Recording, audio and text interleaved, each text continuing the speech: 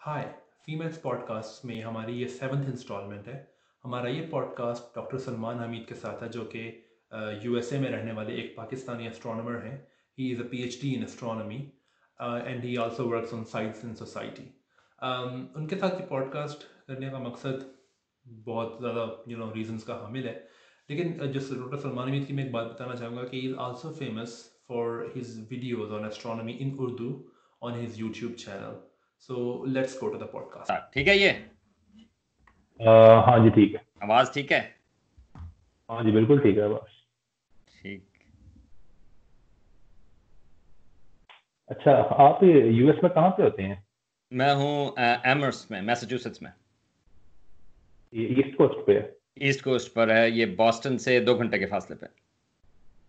अच्छा अच्छा। यानी कि हार्वर्ड और एमआईटी से दो घंटे के फासले दो घंटे के फासले पे दो घंटे straight west straight to west ठीक ठीक। तो ये फाइव कॉलेजेस हाँ हाँ। मैं कह रहा था कि आपकी जो पीएचडी अब एस्ट्रोनॉमी में है ना हम्म वो यूएस से ही है क्या?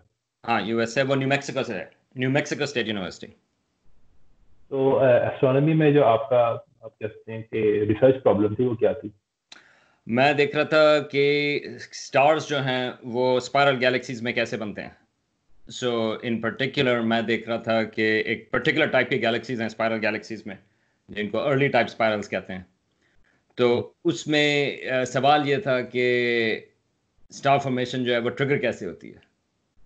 uh, तो उस वजह से सो uh, मैं ऑप्टिकल भी यूज़ कर रहा था रेडियो भी uh, लेकिन प्रिडोमिनेंटली ऑप्टिकल वेवलेंथ्स पे। आ, मेरी रिसर्च थी। आप आपने जो गैलेक्सीज पे काम किया था उनमें कौन कौन सी गैलेक्सी शामिल थी? मिल्की वे शामिल थी क्या? नहीं मिल्की वे नहीं थी।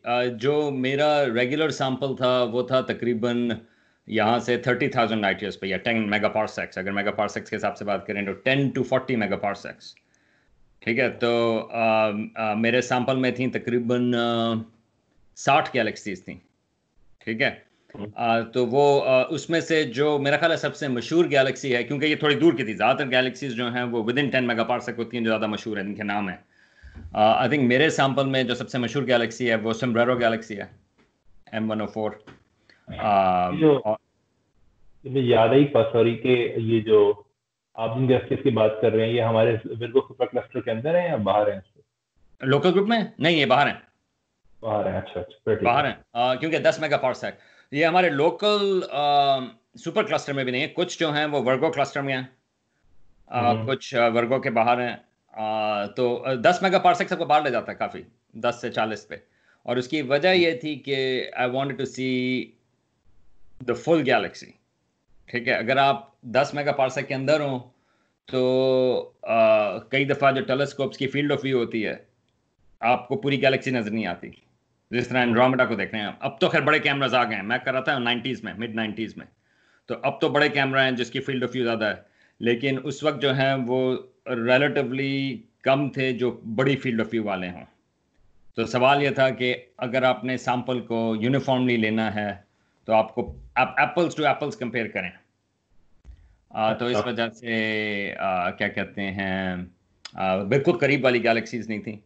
और और ये पर्टिकुलर टाइप की थी तो कंप्लीट सैंपल था। ठीक है कंप्लीट सैंपल की बात कर रहे हैं तो आप डिफाइन करते हैं किसी हिसाब से। तो all galaxies between 10 and 40 mega parsec brighter than X और क्या कहते हैं इस टाइप की राइट right? तो इसको हम तो then you can generalize it तो वो चीज़ हम मैं कर रहा था उसके ऊपर। तो हाँ आप, हाँ। अब आप जो काम कर रहे थे ये मिड नाइनटीज में था या नाइनटीज के एंड पे था बिल्कुल? लेट नाइनटीज में। यानी कि आपकी जो पीएचडी से पहले वो काम हो चुका था वो जो डार्क एनर्जी डिस्कवर हुई थी? Dark energy actually so I mean एक चीज़ तो ये कि डार्क एनर्जी का मे, मेरे काम से डायरेक्टली रिलेटेड नहीं है लेकिन इट इज़ ट्रू कि मैंने कॉस्मोलॉजी की क्लास ली थी जो ग्रेजुएट स्कूल में नाइन्टी uh, सेवन में नाइन्टी सेवन नाइन्टी एट में। और लिटरली अगले साल जो है वेरिएबल्स uh, बदल गए थे। राइट आई मीन उसमें जो वो जो लैमडा है वो ज़ीरो होता था। आई I मीन mean, मैंने जो क्लास ली थी उसमें ज़ीरो था। और अगले साल लिटरली वो हुआ कि वो ज़ीरो नहीं है। And it makes it like you know quite complicated वो जो इक्वेशन हैं। uh, लेकिन हाँ आई मीन नहीं that happen we were in grade school I mean at the time major discussions उसके ऊपर और right I mean not just that Hubble deep field Hubble deep field का जो इमेज है I remember that you know वो was one of my earliest conferences or um, uh, we were just blown away. Hubble deep field eagle nebula का image I mean अब तो बहुत सारे images आते हैं लेकिन uh, हम लोग उसमें जो है वो देखते थे unbelievable image like you know देखते थे हम लोग उस इमेज के ऊपर बैठे हुए थे और इंटरनेट भी नहीं था ना इतना ज़्यादा. आई मीन इंटरनेट जो उस वक्त जो है ये वेब स्टफ़ जो है वो अभी शुरू हुआ था. अब जो है वो जर्नल पेपर्स जर्नल के पिक्चर्स जो होती थी, उसके ऊपर बैठ के हम देख रहे थे कि यार I mean how can you see this कि आपके स्टार फॉर्मिंग रीजन आपको नज़र आ रहे हैं इंडिविजुअल अनबिलीवेबल तो I mean astronomy I mean I am really lucky actually कि I was right at the cusp जब ड्रामेटिकली चेंज ड्रामेटिकली चेंज्ड बात मैं और और भी करना चाह रहा था कि जो आपकी स्टडीज़ की वजह से मुझे एक बात याद आई कि आई थिंक जब ये 98 में हुई थी ना ये डिस्कवरी डार्क एनर्जी वाली। हाँ तो उस वक्त आई थिंक मैं दो साल का हूँ तो मुझे बिल्कुल नहीं पता लेकिन आप चूँकि इस वक्त थे तो आपको पता होगा कि जब ये इतनी बड़ी डिस्कवरी हुई थी तो क्या हमारे मुल्क में किसी भी न्यूज़ में कोई बात आई थी? uh, पता नहीं। आई मीन मुझे अब याद नहीं क्योंकि I mean it's it's very hard I mean मुझे उस वक्त ट्रैक करने का कि पाकिस्तान में आई मीन इट्स पॉसिबल कि डॉन में फॉर एग्जांपल खबर आई हो। लेकिन प्रॉब्लम ये है कि कई दफ़ा ख़ासतौर से जिस तरह डार्क एनर्जी है it's pretty abstract relatively right अगर आप खाली ये कहें कि डार्क एनर्जी मिल गई या वट एवर आई थिंक वो खबर अक्सर जो है डॉन में आ, वो उससे होती हैं वो ए पी एसोसिएटेड प्रेस जो है उसकी प्रेस रिलीज़ आई कि हाँ this is an important one वो उन्होंने वहाँ पर छाप दी। तो इवन अगर छापी भी हो तो there is a difference between कि आप उस खबर को छापें वर्सेस कि आप उस खबर को समझाएँ राइट right? mm-hmm. मुझे नहीं मालूम मुझे याद नहीं कि पाकिस्तान में कोई डिस्कशन इस चीज़ के ऊपर ज़्यादा हुई थी उस वक्त या नहीं um, मेरा गैस है कि डार्क एनर्जी जो है आई I मीन mean, अब तो खैर काफ़ी लोग पॉपुलर हैं और और और एक और चीज़ ये होती है कि जब वो इस तरह की डिस्कवरी भी होती है आई मीन एस्ट्रोनॉमी में भी uh, कुछ साल लगते हैं उसको कंफर्म होने में। या उसको नॉट जस्ट इवन कंफर्म उसको रिलेटिवली ज़्यादा मानने में। और हम लोगों के उसमें भी I mean we were sceptical क्योंकि ख्याल ये था कि uh, जब वो शुरू के रिज़ल्ट आए थे सुपरनोवा वगैरह से uh, हमारा नहीं ख्याल था कि दैट विल एक्चुअली स्टे क्योंकि सब लोग बात कर रहे थे कि किस किस्म की चीज़ें हो सकती हैं कि ये जो डार्क एनर्जी का रिज़ल्ट है क्योंकि it relies on supernova particular type क्या किस किस्म की चीज़ें क्योंकि फर्स्टली आई मीन क्योंकि वो बिल्कुल अनएक्सपेक्टेड रिज़ल्ट था राइट हम्म, बिल्कुल। एंड सो सब लोग थे कि हाँ ठीक है इट लुक्स गुड मगर क्या it will it stick with us और not for the next couple of years I did मगर रिमेंबर वो faster than speed of light neutrinos भी थे कुछ अर्सा पहले। राइट एंड सो तो बड़े रिजल्ट्स में तो तो I mean there is a difference कि इस किस्म की चीज़ जो होती है वो खबर के हिसाब से इट्स नॉट के इमीडिएटली आपको अचानक से एक चीज़ मिली and that's it dark energy वाली चीज़ जो थी it takes a while and it did इसमें अभी आपको शायद बताओ अभी रिसेंट ना एक पेपर के बारे में बहुत बात हो रही है। मैंने उस पर वीडियो भी बनाई थी कि universe might not be isotropic आपको क्या लगता है ये सही होगी चीज़ के लिए I would say I mean I I I mean मैंने I mean I don't work on this मैंने पहले भी पहले इस चीज़ के ऊपर काम नहीं किया तो I don't know the details के cosmologists जो हैं वो क्या कह रहे हैं। I mean I mean it's interesting uh, मगर again I mean it's very very early very uh, early और ये कॉस्मोलॉजी की तो बुनियाद इस चीज़ पे खड़ी है कि universe is isotropic and some अगर ये बात ठीक ना हो तो। मैं हाँ, एक बात भी हाँ बताओ। आप करें बात। मैं कहता कि हाँ कॉस्मोलॉजी के राइट ना कुछ और मसले चल रहे हैं। It may be tied to that कि वो जो हबल कांस्टेंट है उसकी मुख्तलिफ़ स्लाइटली डिफरेंट कांस्टेंट्स आ रहे हैं। कितना सीरियस है वो आई मीन यू नो तो दैट इज़ एन इशू तो देर इज़ सम कुछ हलचल मची हुई है। तो हम्म। अगर ये एन आइसोट्रोपी वाली चीज़ जो है it gets tied to other things right? I mean so that's the key thing. अगर आपकी कोई बड़ी डिस्कवरी होती है fundamental one it has to not just solve one problem क्योंकि अगर आप एक प्रॉब्लम सॉल्व करते हैं आपने पाँच और क्रिएट कर दी हैं। चीज़ ये है कि how is it explaining other things as well so अगर एन आइसोट्रोपी वाली चीज़ जो है वो किसी बड़ी सोल्यूशन की ये एक हिस्सा है एक बड़ी कहानी का पजल का। Then yes that could be actually interesting and that would make sense.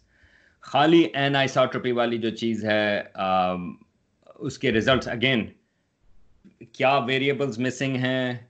अब uh, ये भी हो सकता है वो जो बात हो रही है कि हो सकता है कि ऑब्जर्वेबल यूनिवर्स के बाहर कोई चीज़ हो that is attracting more like you know particular directions में मे बी uh, तो बहुत सारे मे बीज हैं uh, मगर सो राइट नाउ अगेन क्योंकि मैं डायरेक्टली कॉस्मोलॉजी में इन्वॉल्व नहीं हूँ like you know in the research तो मेरा कोई घोड़ा जो है वो उसमें रेस में शामिल नहीं। तो for me it's easier to say या दिस वुड बी समथिंग कि इंतज़ार करना पड़ेगा क्योंकि इट्स टू अर्ली और uh, मगर कुछ थोड़ी सी हलचल है बेचैनी है एंड आई थिंक बेचैनी is always a good thing for science बिल्कुल। इसमें एक बात मुझे याद है कि ये आई थिंक ये आपके प्रोफेशन से ज़्यादा रिलेटेड होगी कि इसमें एक पर्टिकुलर जो वो है ना रेजोल्यूशन इस प्रॉब्लम की है एनेरोट्रोपी वाली वो ये है कि एस्ट्रोनॉमर्स जो है ना वो बहुत दूर दूर की गैलेक्सीज में ना वो पेक्यूलियर वेलोसिटीज को शामिल नहीं करते। अगर अगर हम शामिल कर लें उनको तो प्रॉबली ये वाला रिज़ल्ट नहीं आएगा। तो आ, इसमें क्या क्राइटेरिया होता है एस्ट्रोनॉमर्स का कि कितनी दूर अगर गैलेक्सीज हो तो उनके पेक्यूलियर वेलोसिटीज को शामिल नहीं करना as compared to expansion of universe अब मुझे एग्जैक्टली exactly मुझे अंदाज़ा नहीं कि क्या वो करते हैं लेकिन उसकी वजह अगेन आपको डिफ्रेंशिएट करना है कि कहाँ पे पिक्यूलियर वेलोसिटी जो है उसको आप आइसोलेट कर सकते हैं राइट आई मीन अदरवाइज़ ताकि वो एक्सपेंशन ऑफ़ द यूनिवर्स की वेलोसिटी से ज़्यादा। uh, मुझे अगेन uh, uh, मुझे पता नहीं कि क्या क्राइटेरिया वो एग्जैक्टली exactly यूज़ कर रहे हैं लेकिन that's the fundamental principle behind it और हाँ आई I मीन mean, वो जो आप बात कर रहे हो that's an interesting one right I mean उसमें जो है कभी कभार इस किस्म की चीज़ों में फील्ड्स की डिफरेंसेस जो हैं, वो डिटरमिन करती हैं कि एस्ट्रोनमर्स जो हैं, वो एक चीज़ कह रहे हैं फिजिसिस्ट एक चीज़ कह रहे हैं। विद इन फील्ड्स कॉस्मोलॉजी वाले और एक्स्ट्रा गलेक्टिक वाले जो हैं उनके भी आपस में ज़रा इख्तलाफ होता है। न्यूमेरिकल सिमुलेशन वाले जो हैं, वो और ऑब्जर्वेशनल एस्ट्रोनमर्स उनका भी आपस में इख्तलाफ होता है। मेरा एक प्रोफेसर था जो कॉस्मोलॉजिस्ट मैंने जिससे कॉस्मोलॉजी ली थी एनाटोली क्लिपन उसका एक वो फ़ेमस वो कहता था कि ऑब्जर्वेशंस आर ऑलवेज मिसलीडिंग क्योंकि वो हमेशा जो है वो कहता था कि सिमुलेशंस जो हैं दे टेल यू रियलिटी कहता कि observations are always misleading right और हमारा ये होता था एज एन ऑब्जर्वेशन एस्ट्रोनमर हम ये कहते थे हाँ। कि cosmologists are always in error but never in doubt right तो एनीवे तो ये हमारी बैक एंड फोर्थ चलती थी ऑब्जर्वेशनल वालों की और थियोरेटिकल उसमें। ये एक दूसरे को वाकई बहुत कुछ करते हैं। ये यानी कि स्टीव वाइनबर्ग का एक कॉल था कि never trust an experimental physicist right exactly exactly so अच्छा मुझे एक और बात याद है कि ये एस्ट्रोनॉमर्स जो हैं ये सुपरनोवा की ऑब्जर्वेशन में इतने ज़्यादा इंटरेस्टेड क्यों होते हैं? कि क्या इनसे बहुत प्रिसाइज मेजरमेंट्स मिलती हैं क्या? uh, दो चीज़ें हैं। uh, तो ज़्यादातर जब हम डिस्टेंसेस की बात करते हैं वो सुपरनोवा यूज़ करते हैं। उसकी एक चीज़ तो ये है कि यार सुपरनोवा जो है वो इतना ब्राइट होता है for a brief period of time कि आपके लिए वो एक बड़ी सारी यानी कि आपकी गैलेक्सी जो है वो आपको बहुत फेंट सी है लेकिन अचानक से आपको जो है एक बड़ी सारी फ्लैश लाइट नज़र आई। ठीक है? हम्म। और वो थोड़े अरसे के लिए वो ब्राइट रहता है। तो ज़्यादा तो मसला हमें चीज़ें ये पता है कि सुपरनोवा जो हैं वो किस तरह से वो ब्राइट होते हैं और कितने ब्राइट होते हैं? तो अगर आप खासतौर से ये जो डार्क एनर्जी वाले सुपरनोवा हैं, वो बात करते हैं टाइप वन ए सुपरनोवा वो कौन से हैं? वो वो सुपरनोवा हैं कि जब आपका एक वाइट डुअर्फ एक ऑर्बिट कर रहा है बड़े सितारे से, और एक और सितारे को, और उस वाइट डुअर्फ के ऊपर इतना मटेरियल वो खींच ले दूसरे सितारे से कि वाइट डुअर्फ जो है वो अनस्टेबल हो जाए। तो वो जो एक लिमिट होती है वाइट डॉर्फ की, चंद्रा सेकर लिमिट वो ये है कि वाइट डॉर्फ जो है वो एक अशारिया चार सोलर मास से ऊपर नहीं हो सकता। ठीक है? लेकिन अगर वो मास खींच रहा है, अगर वो खींच रहा है दूसरे सितारे की वो धोती सी नज़र आती है कि धोती सी खींच रहा है, अगर वो उस वाइट डॉर्फ का मास ऊपर कर दे तो एक अशारिया चार के वो ऊपर हुआ और वो डेटोनेट हो गया।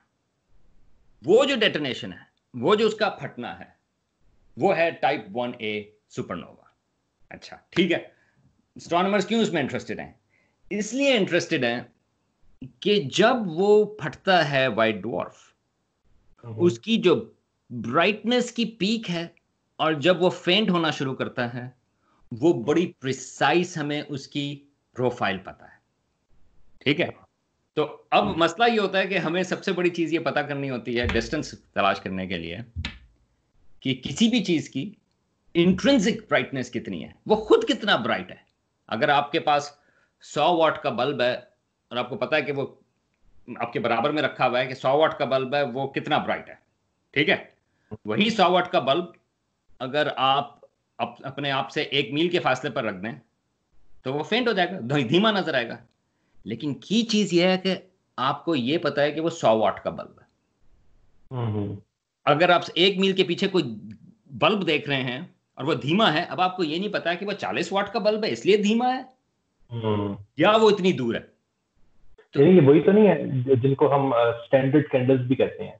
बिल्कुल that's a standard candle right तो वो जो टाइप वन ए सुपरनोवा है उनकी जो पीक ब्राइटनेस है हमें एग्जैक्टली exactly पता है कि वो कितनी होती है और वो किस तरह से वो फेंट होते हैं। तो अगर आपको कोई टाइप वन ए सुपरनोवा नज़र आया तो आपको हम्म। पता है उसकी प्रोफ़ाइल से कि वो इस किस्म का सुपरनोवा है।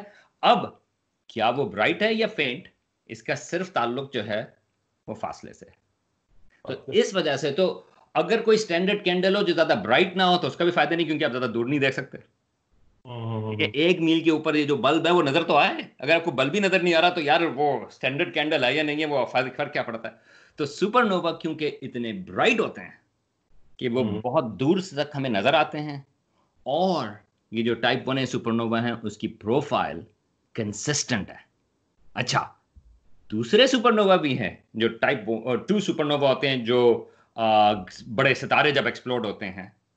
लेकिन प्रॉब्लम हम्म। यह और उसको भी हम यूज़ करते हैं डिस्टेंस कैंडल में लेकिन प्रॉब्लम यह है कि वो बहुत मुख्तलिफ़ किस्म के हैं उसमें वेरिएशंस हैं। तो आपने एक और वेरिएबल ऐड कर दिया कि पहले तो आपको सुपरनोवा मिला आपको प्रोफ़ाइल मिली फिर आपने पता ये करना है कि वो कौन से वाला है? तो उसमें इतनी वेरिएशन इतनी ज़्यादा हैं कि लोग जो है वो टाइप टू सुपरनोवा हालाँकि कुछ जो है वो काफ़ी ब्राइट होते हैं। आपको ये नहीं पता होता कि वो मुख्तलिफ़ इस वजह से क्योंकि दूर है या मुख्तलिफ़ इस वजह से क्योंकि वो सितारा फ़र्क था। टाइप वन ए हमेशा वाइट डॉर्फ एक्सप्लोर होता है टाइप वन ए में और वो एक अशारिया चार सोलर मास के बाद बड़ा वो एक्सप्लोर होता है। तो इस वजह से वो ज़्यादा कंसिस्टेंट है। लेकिन उसमें भी थोड़ी सी अनसर्टनिटीज हैं लेकिन वो अनसर्टनीज कम है। तो अगर सपोज़ करें कि हमें पता हो कि पर्टिकुलर जो सुपरनोवा है वो टाइप टाइप वन ए है लेकिन हमें कैसे पता कि बीच में डस्ट नहीं है हाँ तो ये, ये जो वो बात हो रही थी आपकी कि अनसर्टनिटी थी डार्क एनर्जी के बाद वो यही हम्म। बिल्कुल सवालात जो हैं वो इस चीज़ के आते हैं कि आपको वो जो फेंट नज़र आया उसमें आपको मॉडल करना होता है कि बीच में डस्ट कितनी है अच्छा डस्ट हम्म। किस तरह से मॉडल करें वो आप किसी और मेज़रमेंट से मुख्तलिफ़ चीज़ों से कोयजार्स जो होते हैं जो वो भी एक एक तरह की ब्राइट सेंटर्स ऑफ़ गैलेक्सीज हैं। उनकी लाइट आ रही है, आप पता करते हैं कि अच्छा वो कितनी मॉडिफाई हुई। तो आप हिसाब लगाते हैं कि हमारे बीच में जो भी आप एक्सपेक्ट कर रहे हैं कि सुपरनोवा का डिस्टेंस क्या है, उसमें कितनी लाइट जो है वो एब्जॉर्ब हो गई होगी। तो वो फैक्टर जो है, बिल्कुल आप एड इन करते हैं। एक और चीज़ कहलाती है Lyman alpha forest I mean उसमें जो है वो बेसिकली वो चीज़ होती है कि हम हाइड्रोजन गैस जो हमें नज़र नहीं आ रही खाली डस्ट भी नहीं बल्कि हाइड्रोजन गैस भी होती है। वो कितनी जगहों पर आपकी उसकी एब्जॉर्प्शन नज़र आ रही है? तो ये जो कोएजार्स हैं कोएजार्स गैलेक्सी के सेंटर के ब्लैक होल्स हैं बड़े एक्टिव वाले। बहुत शुरू में बहुत ज़्यादा थे वो बड़े एक्टिव उसके जो सुपर मैसिव ब्लैक होल्स हैं। मगर वो बहुत सारे जो है वो almost like a point source हालाँकि वो बहुत दूर से है उसकी रोशनी आ रही है लेकिन almost like a point source आप उसकी रोशनी में उसकी एब्जॉर्प्शन मुख्तलिफ़ जगहों पर रेड शिफ्ट के हिसाब से आप वो मेजर कर सकते हैं। तो आपको ये पता चल सकता है कि उसकी लाइन में किस किस्म की चीज़ें मौजूद हैं।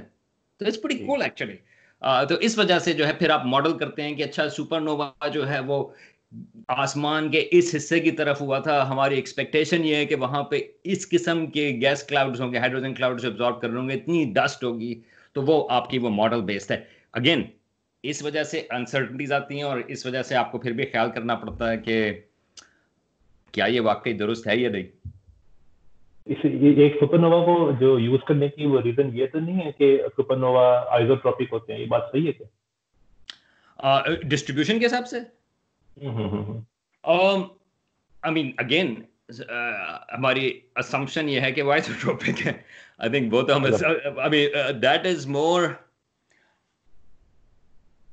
अगर आप आइसोट्रोपी आप मेजर कर रहे हैं तो उसके लिए आप यू कैन यूज़ सुपरनोवा ठीक है? लेकिन जब आप डिस्टेंस मालूम कर रहे हैं तो you already make the assumption कि वो आइसोट्रॉपिक है। इसी आई मीन अगर आप आइसोट्रोपी मेजर कर रहे हैं तो आपको फिर कोई और मेजरमेंट्स करनी होंगी। आ, हम हम्म। दो वेरिएबल्स एक वक्त में सॉल्व नहीं कर रहे राइट आई मीन तो अगर आप आ, ये मेजर कर रहे हैं कि क्या सुपरनोवे आइसोट्रॉपिक हैं या नहीं है उसके लिए हम कुछ और तीसरा मेजर लेंगे जो उसको रेफरेंस करेगा। राइट? क्योंकि अगर आपने वो भी मेजर करना शुरू कर दिया और डिस्टेंस भी मेजर करना शुरू कर दिया, दोनों चीज़ें साथ में नहीं आई तो आइसोट्रोपी को मेजर करने के लिए आपको सुपरनोवा की आइसोट्रोपी मेजर करने के लिए आपको और कोई रेफरेंस चाहिए होगा जिसके ज़रिए आप वो मेजर करेंगे लेकिन इस वक्त यूनिवर्स की एक्सपेंशन के लिए जब वो यूज़ करते हैं तो राइट आई मीन हम असूम करते हैं कि वो आइसोट्रॉपिक हैं, क्योंकि अगर हमने वो छोड़ दिया तो देन अगेन वो it open up whole other can of worms right अगर आपने उसके ऊपर वो छोड़ दिया। और अभी साइंस के हिसाब से क्या हमारे पास एब्सोल्यूट सबूत मौजूद है कि डार्क एनर्जी है? इस वक्त तक अगर आज आप मुझसे सवाल पूछ रहे हैं कि यार आ, अगर आपका जो है घर है आप मॉर्गेज जो है आपकी शर्त लगाएँगे कि डार्क एनर्जी है या नहीं है? मैं कहूँगा यार बिल्कुल है डार्क एनर्जी लेकिन क्या ये एब्सोल्युटली सर्टन है? आ, नहीं. आई मीन आई थिंक ये हो सकता है कि हम सिस्टमेटिकली कुछ मिस्टेक कर रहे हों अनलेस हमारे पास ये पता हो कि वो जो एक्सेलरेशन है कायनात की जिसकी वजह से हम असूम कर रहे हैं डार्क एनर्जी वो किस वजह से है?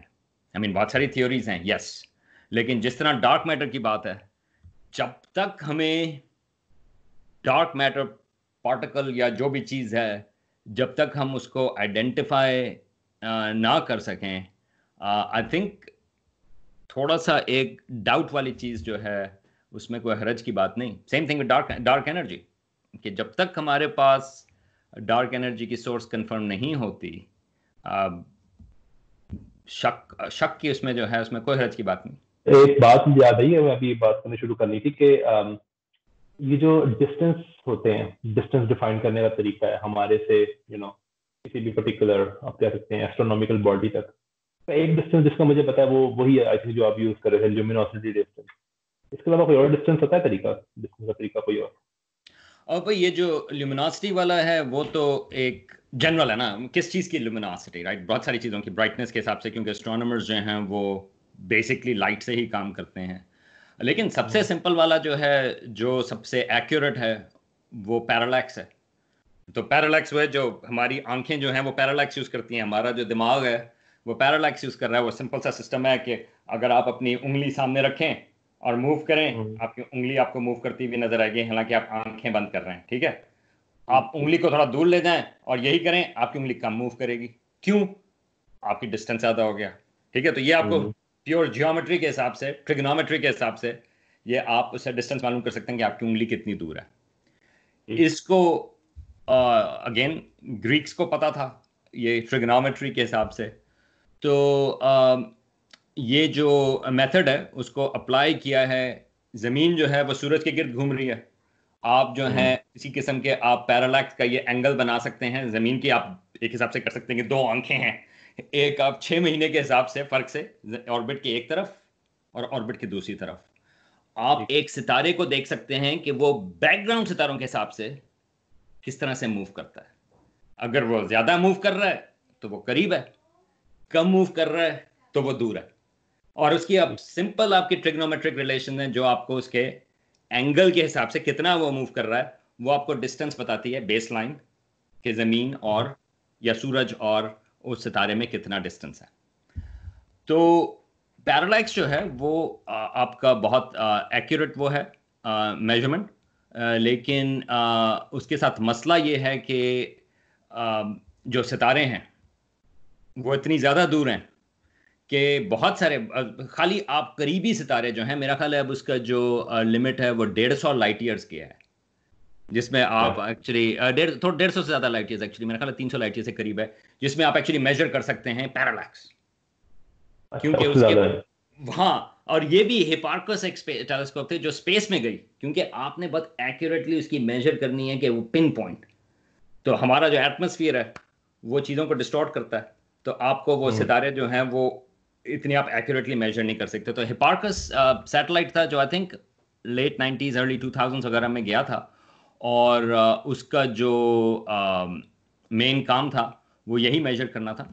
और तो जो पैरालैक्स और बाय द वे क्यों इतनी दूर है? वो इसी तरह से कि आप ये उंगली तो आप मेजर कर रहे हैं, लेकिन आप सोचेंगे अगर मेरा हाथ जो है वो एक मील तक आगे चला जाए तो भाई मैं जितनी भी आँखें मैं यूँ यूँ कर लूँ, वो आपको उसकी मूवमेंट नज़र नहीं आएगी क्योंकि फासला इतना ज़्यादा हो गया। तो ये चीज़ सितारों के साथ होती है। तो पैरालैक्स जो है, वो बहुत एक्यूरेट है। सिंपल स्ट्रेट फॉरवर्ड ट्रिग्नोमेट्री है। मगर हम्म। वो करीबी सितारों के लिए। तो वो जो आपने बात की स्टैंडर्ड कैंडल की तो स्टैंडर्ड कैंडल के अलावा एस्ट्रोनॉमर्स बात करते हैं डिस्टेंस लैडर की ठीक है? वो उसके फासले की सीढ़ी। और वो इसलिए है कि अच्छा ठीक है आपने पैरालैक्स से आप से डेढ़ सौ लाइट पे चले गए। मगर उतने अरसे में आपने कुछ और मेथड तलाश किया जो आपको दूसरे तीन सौ लाइट ईयर या चार सौ लाइट ईयर हज़ार लाइट ईयर के फासले पर ले जाए। लेकिन आप उसको टेस्ट कर सकते हैं आप कहें कि अच्छा हाँ ये हो रहा है। तो फिर तो इस तरह करके हम उसको बढ़ाते चले जाते हैं डिस्टेंस के हिसाब से। तो जो सबसे आखिर में आता है वो है आई मीन एक लिहाज से expansion of the universe red shift जिसकी हम बात करते हैं। तो हम्म। वो क्योंकि वो कायनात की एक्सपेंशन के हिसाब से it's on the big scale लेकिन उसको टेस्ट करने के लिए आपको और मेथड चाहिए जो ओवरलैप करते हो। तो uh, सबसे जो मशहूर है पैरालैक्स सबसे एक्यूरेट है। सुपरनोवा वन ए जो है वो इसलिए मशहूर है क्योंकि डार्क एनर्जी के रिजल्ट्स की वजह से।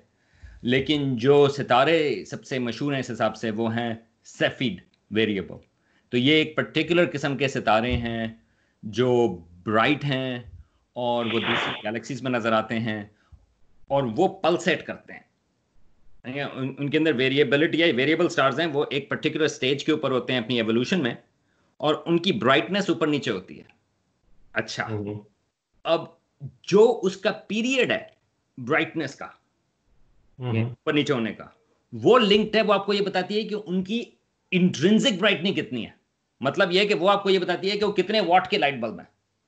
खाली। इससे कि वो किस तरह से वो वेरी कर रहे हैं तो ये जो सितारे हैं सेफिड वेरिएबल एस्ट्रोनॉमी की तारीख में बीसवीं सदी में देवर क्रूशल क्योंकि हम्म। ये जो सेफिड वेरिएबल की डिटेक्शन थी एंड्रोमिडा गैलेक्सी में जिसकी वजह से हमें यह पता चला कि एंड्रोमिडा गैलेक्सी जो है वह दो मिलियन लाइट ईयर्स के फासले पर है ये चीज़ आई मीन एक लिहाज से अगर आप सोचें ये आज हम बात करते हैं कि यार कितनी गैलेक्सीज हैं ओ डार्क एनर्जी और ये, वो। ये कॉन्सेप्ट के गैलेक्सीज जो हैं कहकशाएँ जो हैं, वो सौ अरब, दो सौ अरब, चार सौ अरब सितारे रखती हैं और वो बहुत दूर हैं हमसे। ये सौ साल से भी कम ये डिस्कवरी है। ये 1930s में थी जब एंड्रोमेडा गैलेक्सी ख्याल ये था कि नज़र तो आती थी? ये नहीं है कि एंड्रोमेडा नज़र नहीं आती थी। एंड्रोमेडा जो है आपको नेकेड आई से भी नज़र आती है अगर आपके पास लाइट पोल्यूशन ना हो। तो लोगों को पता तो था लेकिन एस्ट्रोनॉमी में डिस्टेंसेस सबसे मुश्किल है क्योंकि अगर आप आसमान के ऊपर देखें तो एक तरह से आपको टू आसमान है प्लानिटेरियम की तरह से है। आपको डेप्थ हम्म, हम्म। नज़र नहीं आती और डेप्थ इसलिए नज़र नहीं आती क्योंकि यार हमारी आँखें जो हैं वो पैरालैक्स काम नहीं करता क्योंकि सारी चीज़ें जो है बहुत दूर हैं। तो वो हमें चपटी हाँ। नज़र आती है आसमान जो है। तो सवाल ये था ये बहुत बड़ा सवाल था। ये जो फजी सी चीज़ें नज़र आ रही हैं एंड्रोमिडा नेबुला कहलाता था ना एंड्रोमिडा नेबुला नेबुला ये गैसेस हैं। वो हमारी अपनी गैलेक्सी में नेबुला हैं या वो यानी कि हमारी गैलेक्सी जैसी हैं और अगर हमारी अपनी गैलेक्सी जैसी है इसका मतलब यह है कि वो इतनी छोटी इसलिए नज़र आ रही हैं क्योंकि ये बे इंतहा दूर है। दूर है। और अगर ये है तो फिर तो हमारी कायनात कितनी बड़ी है? तो ये नाइनटीन ट्वेंटीज में ये बहुत बड़ी डिबेट थी। Nature of spiral nebula. और uh, कुछ लोगों का ख्याल था कि हमारी अपनी जो मिल्की वे है uh, ये कहकशां जो है वो काफ़ी बड़ी है। कुछ maybe hundred thousand light years बड़ी या इससे भी ज़्यादा बड़ी। और ये जो स्पायरल नेबुला नज़र आ रहे हैं वो हमारी अपनी कहकशां का हिस्सा है और पूरी कायनात जो है वो हमारी मिल्की वे है।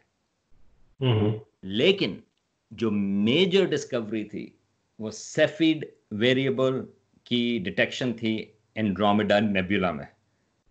और जब एक दफ़ा सेफिड वेरिएबल डिटेक्ट हो गया और लोगों को पता था कि सेफिड वेरिएबल की पल्सेशन जो है उसकी जो ब्राइटनेस है वो कितने ब्राइट होते हैं। तो उन्होंने कहा एक मिनट ये तो सेफिड वेरिएबल है इसकी ब्राइटनेस हमें ये पता है कि वो कितना है और जब उसके उन्होंने कैलकुलेट किया तो उसका जो डिस्टेंस आया वो तकरीबन नो दो मिलियन लाइट ईयर तो इसलिए सेफिड वेरिएबल्स जो हैं वो बहुत इंपॉर्टेंट हैं और हबल स्पेस टेलीस्कोप का जो मेन काम था टेलीस्कोप्स होती हैं वो बहुत काम कर रही होती हैं मुख्तलिफ़ किस्म की चीज़ें होती हैं। लेकिन एक हम्म। चीज़ कहलाती है की प्रोजेक्ट्स की प्रोजेक्ट का मतलब होता है कि यार और कुछ हुआ नहीं हुआ हम इस प्रोजेक्ट को ज़रूर करेंगे। वो डिटेक्शन थी और मेज़रमेंट थी सेफिड वेरिएबल्स की गैलेक्सीज में जितना हम इसको एक्सटेंड कर सकें। और उसकी वजह से हमें ये पता कर सकते हैं कि हमारी कायनात जो है उसका हबल कांस्टेंट क्या उसकी एक्सपेंशन रेट क्या है। इसका डार्क एनर्जी से ताल्लुक नहीं था। डार्क एनर्जी वाला प्रोजेक्ट हाँ। था वो अलग से था। लेकिन इसका मेन ये था कि क्या हम हमारी अपनी कायनात का एक्सपेंशन रेट एक्यूरेटली हम पता कर सकते हैं। और उसका ताल्लुक ये था कि हम करीबी, हमसे तकरीबन चालीस, पचास हज़ार लाइट ईयर्स के फासले पर या उससे भी ज़्यादा, तकरीबन हंड्रेड थाउज़ेंड एक लाख लाइट ईयर्स के फासले पर जो गैलेक्सीज हैं, हम उससे सेफिड वेरिएबल से टक करें और सेफिड वेरिएबल से हमें पता है कि वो काफ़ी एक्यूरेट है डिस्टेंस मेज़रमेंट का और अगर हम उसे डिस्टेंस मेज़रमेंट पता कर सकें तो हम उसका हबल कांस्टेंट रिलेटिवली एक्यूरेट कर सकते हैं। तो ये हबल स्पेस टेलीस्कोप का एक की प्रोजेक्ट था। ठीक। अच्छा इसमें एक और बात मैं करना चाहता था कि आपने कहा था कि एस्ट्रोनॉमी के बाद अब आप जो ज़्यादा काम कर रहे हैं वो साइंस एंड सोसाइटी पे कर रहे हैं। राइट तो जो आपने क्या कहते हैं एस्ट्रोनॉमी पे वीडियोस बनानी शुरू की हैं काफ़ी साल हो गए हैं आपको। तो अब तो खैर आपके काफ़ी सब्सक्राइबर हैं लेकिन आ, मैं पूछना ये चाहता हूँ कि यंग पीपल के बारे में तो हमें पता है कि वो तो काफ़ी इंटरेस्ट शो करते हैं। अडल्ट शो करते हैं हमारे माशरे में। अमेरिका वगैरह में तो शायद करते हैं लेकिन यहाँ पर हाँ तो पहली बात तो यह है कि हाँ मेरा जो अपना मैंने कई दफ़ा मैंने मुख्त लोगों को भी बताया कि जो मेरा अपना जो शौक था एस्ट्रोनॉमी का वो कार्ल सेगन की वजह से था। कार्ल सेगन की एक कॉस्मो सीरीज़ पाकिस्तान टेलीविज़न पे उन्नीस सौ चौरासी में 1984 में आई थी और आ, मैं एस्ट्रोनॉमी में आज इसलिए हूँ क्योंकि मैंने वो टीवी की सीरीज़ देखी थी। तो मेरे लिए ये एक अजीब सी चीज़ है कि एक बंदा जिससे मैं कभी मिला नहीं उसका अपना हम्म। इंतकाल हो गया था 1996 में मगर उसने जो है मेरी ज़िंदगी की डायरेक्शन बदल दी राइट हम्म, हम्म। तो इस लिहाज से मेरे लिए एक ये काफ़ी इंपॉर्टेंट चीज़ है कि साइंस कम्युनिकेशन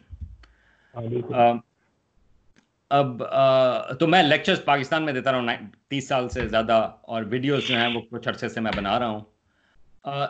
तो किस किस्म का रिएक्शन है? आ, मैं ये कहूँगा कि it has been absolutely amazing और बहुत वेरिएशन है। अगर आप जिस तरह आप ये बात कर रहे हैं आप भी वीडियोस बनाते हैं आप ये इंटरव्यू भी कर रहे हैं आई मीन इसमें जो मेन चीज़ होती है वो ये है कि ऑडियंस आप किसको पिच कर रहे हैं? किसके लिए आप ये बना रहे हैं? Right I mean that's the key question तो मेरे लिए क्योंकि मैं कार्ल सेगन से इन्फ्लुएंस था uh, जब मैं वीडियो बनाता हूँ तो मेरी ऑडियंस एक जनरल ऑडियंस है। और मेरा ख्याल ये है कि मैं मैं अभी तक मैं कोर्सेज नहीं बना रहा मैं ये नहीं कर रहा कि आप जो है आपका फिजिक्स में ए आ जाए। वो मेरा गोल नहीं है। मेरा गोल तो मेरा गोल हाँ तो मेरा गोल जो है वीडियोस का वो ये है कि आप क्यूरियस जुस्तजू आप सोचें राइट हम्म। बहुत दफ़ा जो है मैं जवाब भी नहीं होते। लोग नाराज़ भी जाते हैं कुछ वीडियोस में लग कहते हैं कि यार आपने जवाब ही नहीं दिया उस चीज़ का। मैंने कहा भाई मसला जो है वो जवाब का नहीं था सवाल का था। राइट तो एक चीज़ है कि हम इस किस्म की चीज़ों के बारे में किस तरह से सोचें तो उसलिए तो मेरी ऑडियंस उस हिसाब से वो ये कि वो आठ साल का बच्चा हो या अस्सी साल के they should all be curious about things और एक अच्छी चीज़ ये है कि uh, जो मुझे कमेंट्स मिलते हैं जो लोग कहते हैं कि वो क्या कर रहे हैं तो मेरे जो फेवरेट कमेंट्स हैं वो दोनों तरफ़ से हैं कि कुछ कहते हैं कि जी मैं वीडियोस देखता हूँ अपने बच्चों के साथ भी। अच्छा। और कमेंट्स इसके भी हैं कि मैंने अपनी अम्मी को जो है शाम की चाय के वक्त ये वीडियोस दिखाने शुरू किए हैं और अब हम साथ मिलकर देखते हैं। मेरे लिए अगेन ये क्योंकि मेरा गोल जो था वो एक ब्रॉड रेंज है। आई एम लाइक ये दैट्स अमेजिंग राइट तो पाकिस्तान में हम बहुत दफ़ा जो मुझे जो आई मीन मुझे पाकिस्तान से गए हुए बाद मुझे तीस साल से ऊपर हो चुके हैं तो मैं ये नहीं क्लेम करता कि पाकिस्तान में क्या हो रहा है। ठीक है? मैं जाता हूँ हर साल, लेकिन मैं ये क्लेम नहीं कर सकता कि मुझे उसकी इनर डिटेल्स पता है। लेकिन मैं आपको ये बता सकता हूँ कि मेरी इंटरेक्शंस कैसी हैं। और इंटरेक्शंस में अब जो मेरा चैनल है उसमें कायनात एस्ट्रोनॉमी उसमें हर वीडियो जो है उसमें कुछ हज़ार व्यूज़ होते हैं। और मैं कोई कमेंट्स उसमें जो है मैं सेंसर नहीं करता कोई वो नहीं। लोग जो हैं वो बहुत कंस्ट्रक्टिव कमेंट्स देते हैं। रेयरली मुझे जो है कोई ऐसा कमेंट नज़र आता है जिसको आप इग्नोर कर दें राइट हाँ। कि बहुत ही फजूल दकियानूसी किस्म का कमेंट वो रिलेटिवली कम होते हैं। तो मेरे लिहाज से और, और, और लोग रिस्पॉन्ड करते हैं। लोग कहते हैं कि यार हमें ये नहीं पता था कि हम उर्दू में यूट्यूब के ऊपर इस किस्म की बातचीत कर सकते हैं। भाग यार 210 मिलियन लोग हैं यार पाकिस्तान में या 220 मिलियन। अब उसमें से हम्म। अगर आप कहें कि यार कुछ हज़ार या कुछ लाख लोग जो हैं वो सीरियसली इंटरेस्टेड होंगे आई थिंक आपको ये चीज़ असूम करनी चाहिए और फिर आपको लोग भी मिलेंगे। अगर आप असूम करें कि कोई ऐसा बंदा नहीं है तो आपको ऐसे लोग नहीं मिलेंगे। हाँ बिल्कुल। बात सही है। इसमें ना अभी आपने जो बात की ना कार्ल सेगन वाली उस बात से बहुत अच्छे तरीके से रिलेट किया जा सकता है क्योंकि आई थिंक मेरे लिए मेरे साथ भी यही हुआ था मेरे लिए वो बंदा जो है वो स्टीफन हॉकिंग था। कार्ल सेगन कार्ल सेगन से मेरी जान पहचान तो खैर नहीं जान हाँ, सकते हाँ। था उनको लेकिन उनसे जो मेरी शनासाई है ना वो बाद में हुई थी।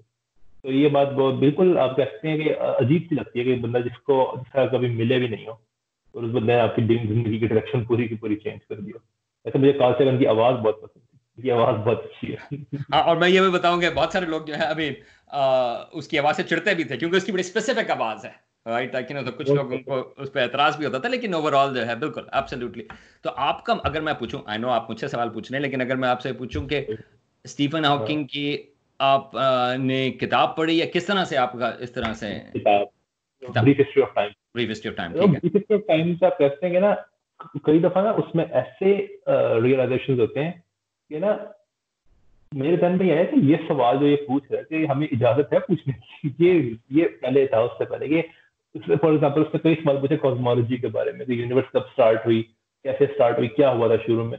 मैंने कहा ये तो मेरे को उससे पहले मुझे नहीं पता था कि ये सवाल पूछ सकते हैं हम्म। और ये ये पैराडाइम शिफ्ट है इतनी बड़ी कि उस पर्टिकुलर बुक ने ये रियलाइज़ करवाया या ये सवाल पूछ सकते हैं ये साइंस की गेम के अंदर का सवाल ऐसा नहीं है कि ये साइंस है बिल्कुल ही बात कुछ लोग तो इसको मज़हब में ले जाते हैं ना। कहते हैं, बस मज़हब भी जवाब दे सकते हैं इन चीज़ों का। लेकिन ये कहते हैं साइंस की गेम में है चीज़ें, ये बहुत बड़ी रियलाइजेशन थी उस बुक से।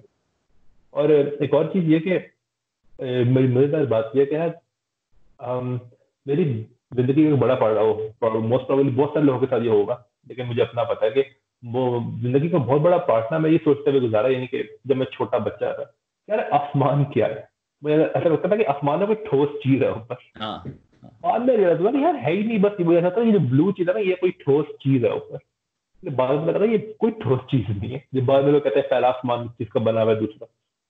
क्या आसमान है क्या? मुझे पहले ये बताओ आसमान है क्या? यही नहीं पता था पहले तो।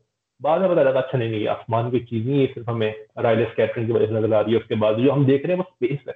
हम्म। लोगों को तो ये भी नहीं पता कि जब हम रात के वक्त आसमान देखते हैं वो स्पेस है। हम्म, तो कहते हैं ना कि हम स्पेस में जाएँगे तो वो स्पेस को देख रहे हो तुम। ये बताओ ना कहते हैं तो आसमान है। मतलब ये स्पेस ये बहुत बड़ी मज़ेदार रियलाइजेशन थी। हाँ। तो, तो ये जो आपने बात की कि कौन से सवाल हम किस तरह से पूछें so that is part of the thing तो uh, अपने चैनल पे uh, मैंने uh, मैं वीडियो बिग बैंग के ऊपर भी हैं मेरा वीडियो उसके ऊपर भी है कि बिग बैंग से पहले क्या था।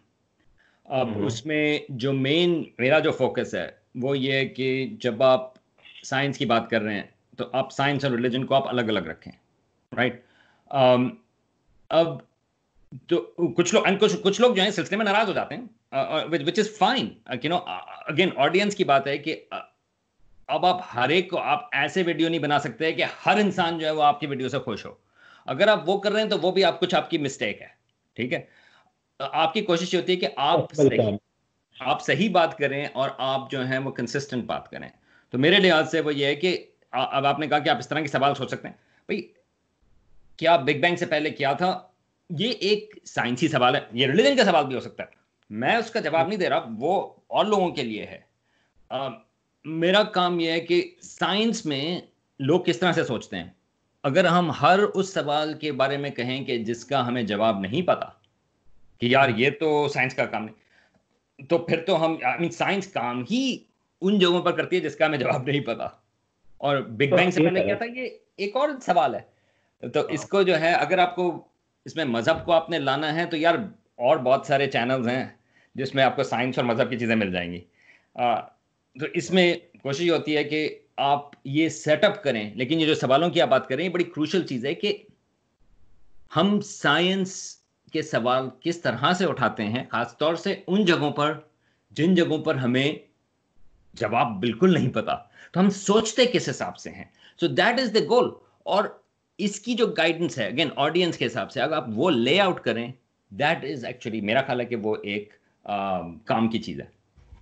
बिल्कुल ये अभी आपने बात की ना कि ये वाली के लोग साइंस और मदद को ना जब और इतनी कहना ही चाह रहा था कि जब आप कहते हैं कि या हमें तो कई लोग कहते हैं कि साइंस और मदद को अलग रखो तो ना लोग ना उसको इंटरप्रेट एक और तरीके से करते हैं।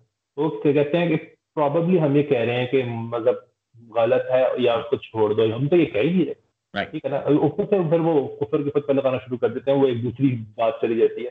लेकिन हम तो सिर्फ़ ये कहते हैं अलग रखो। हमने कब कहा कि मज़हब को ना मानो? हम तो ये कह ही नहीं रहे होते। लेकिन एक और बात ये कि दो बातें हैं यहाँ पे। पहली बात तो ये कि प्रॉबली जो अभी आपने कई बात के जो जहाँ पे साइंस अभी तक ये अभी तक का वर्ड बड़ा ज़रूरी है। क्योंकि अभी जो अभी तक जहाँ पे खामोश है ना साइंस ज़रूरी नहीं कि आगे भी खामोश है उसके बारे में। कभी नहीं पता कि कब वो चीज़ें जो हमें नहीं पता, अभी वो पता, कल पता लग जाए, कुछ नहीं पता होता। तो अभी तक जिन चीज़ों के बारे में साइंस खामोश है, लोग क्या करते हैं, वहाँ पे मज़हब डाल देते हैं। ये बहुत गलत, पहली बात तो गलत बात इसलिए भी है कि एक एक तरह से एस्केप करना है। कि अब उन सवालों से जितने वर्क चाहिए बहुत ज़्यादा, उनसे एस्केप कर देते हैं। और दूसरी बात क्या थी कि हाँ दूसरी बात ये थी कि जिन चीज़ों के बारे में लोगों को, ये मैंने पहले भी पॉडकास्ट में बात कही हुई है कि जिन चीज़ों के बारे में लोगों को नहीं ना पता, हमारे पर्टिकुलर हमारे कल्चर में, मुझे नहीं पता ये, यूरोप में मैं लोगों से बात नहीं की आपसे लोग लैंग्वेज भी डिफरेंट है, इतना मुश्किल है बात करना इटालियन बोलते हैं सर तो हमारे कल्चर में ना पर्टिकुलरली ये बात सही है कि ना, लोग ना ये नहीं कहना जानते कि हमें नहीं पता। ये बहुत मुश्किल है कहना लोगों के लिए।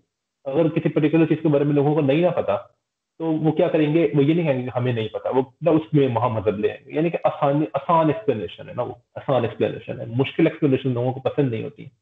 ये भी ये भी बड़ी मदद की वजह फॉर एग्ज़ाम्पल उन चीज़ों के बारे में, जिनके बारे में साइंस के बारे में पता है हमें कि साइंस ये कहती है, ठीक है?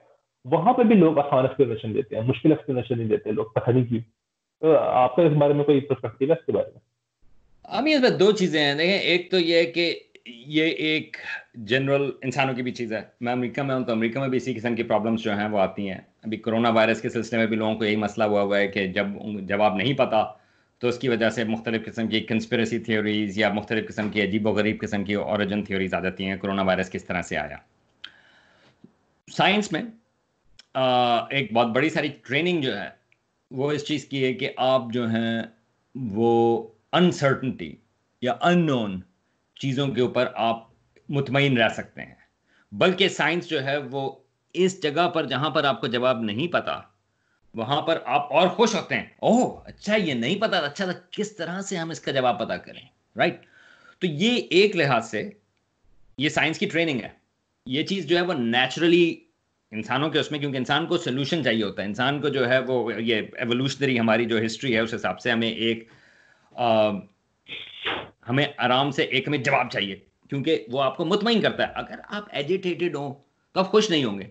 अनलेस कि आपकी ट्रेनिंग ये हो कि ओ अगर आप वेजिटेटेड हो रहे हैं तो ये तो एक अच्छी चीज़ है, क्योंकि आपको ये एक अपॉर्चुनिटी देती है जवाब तलाश करने की। और अपॉर्चुनिटी के हिसाब से आपकी पीएचडी हो सकती है अपॉर्चुनिटी के हिसाब से आपको ग्रांट्स मिल सकती हैं अपॉर्चुनिटी के हिसाब से एक एक जनरल आपको एक जुस्तजू बन सकती है।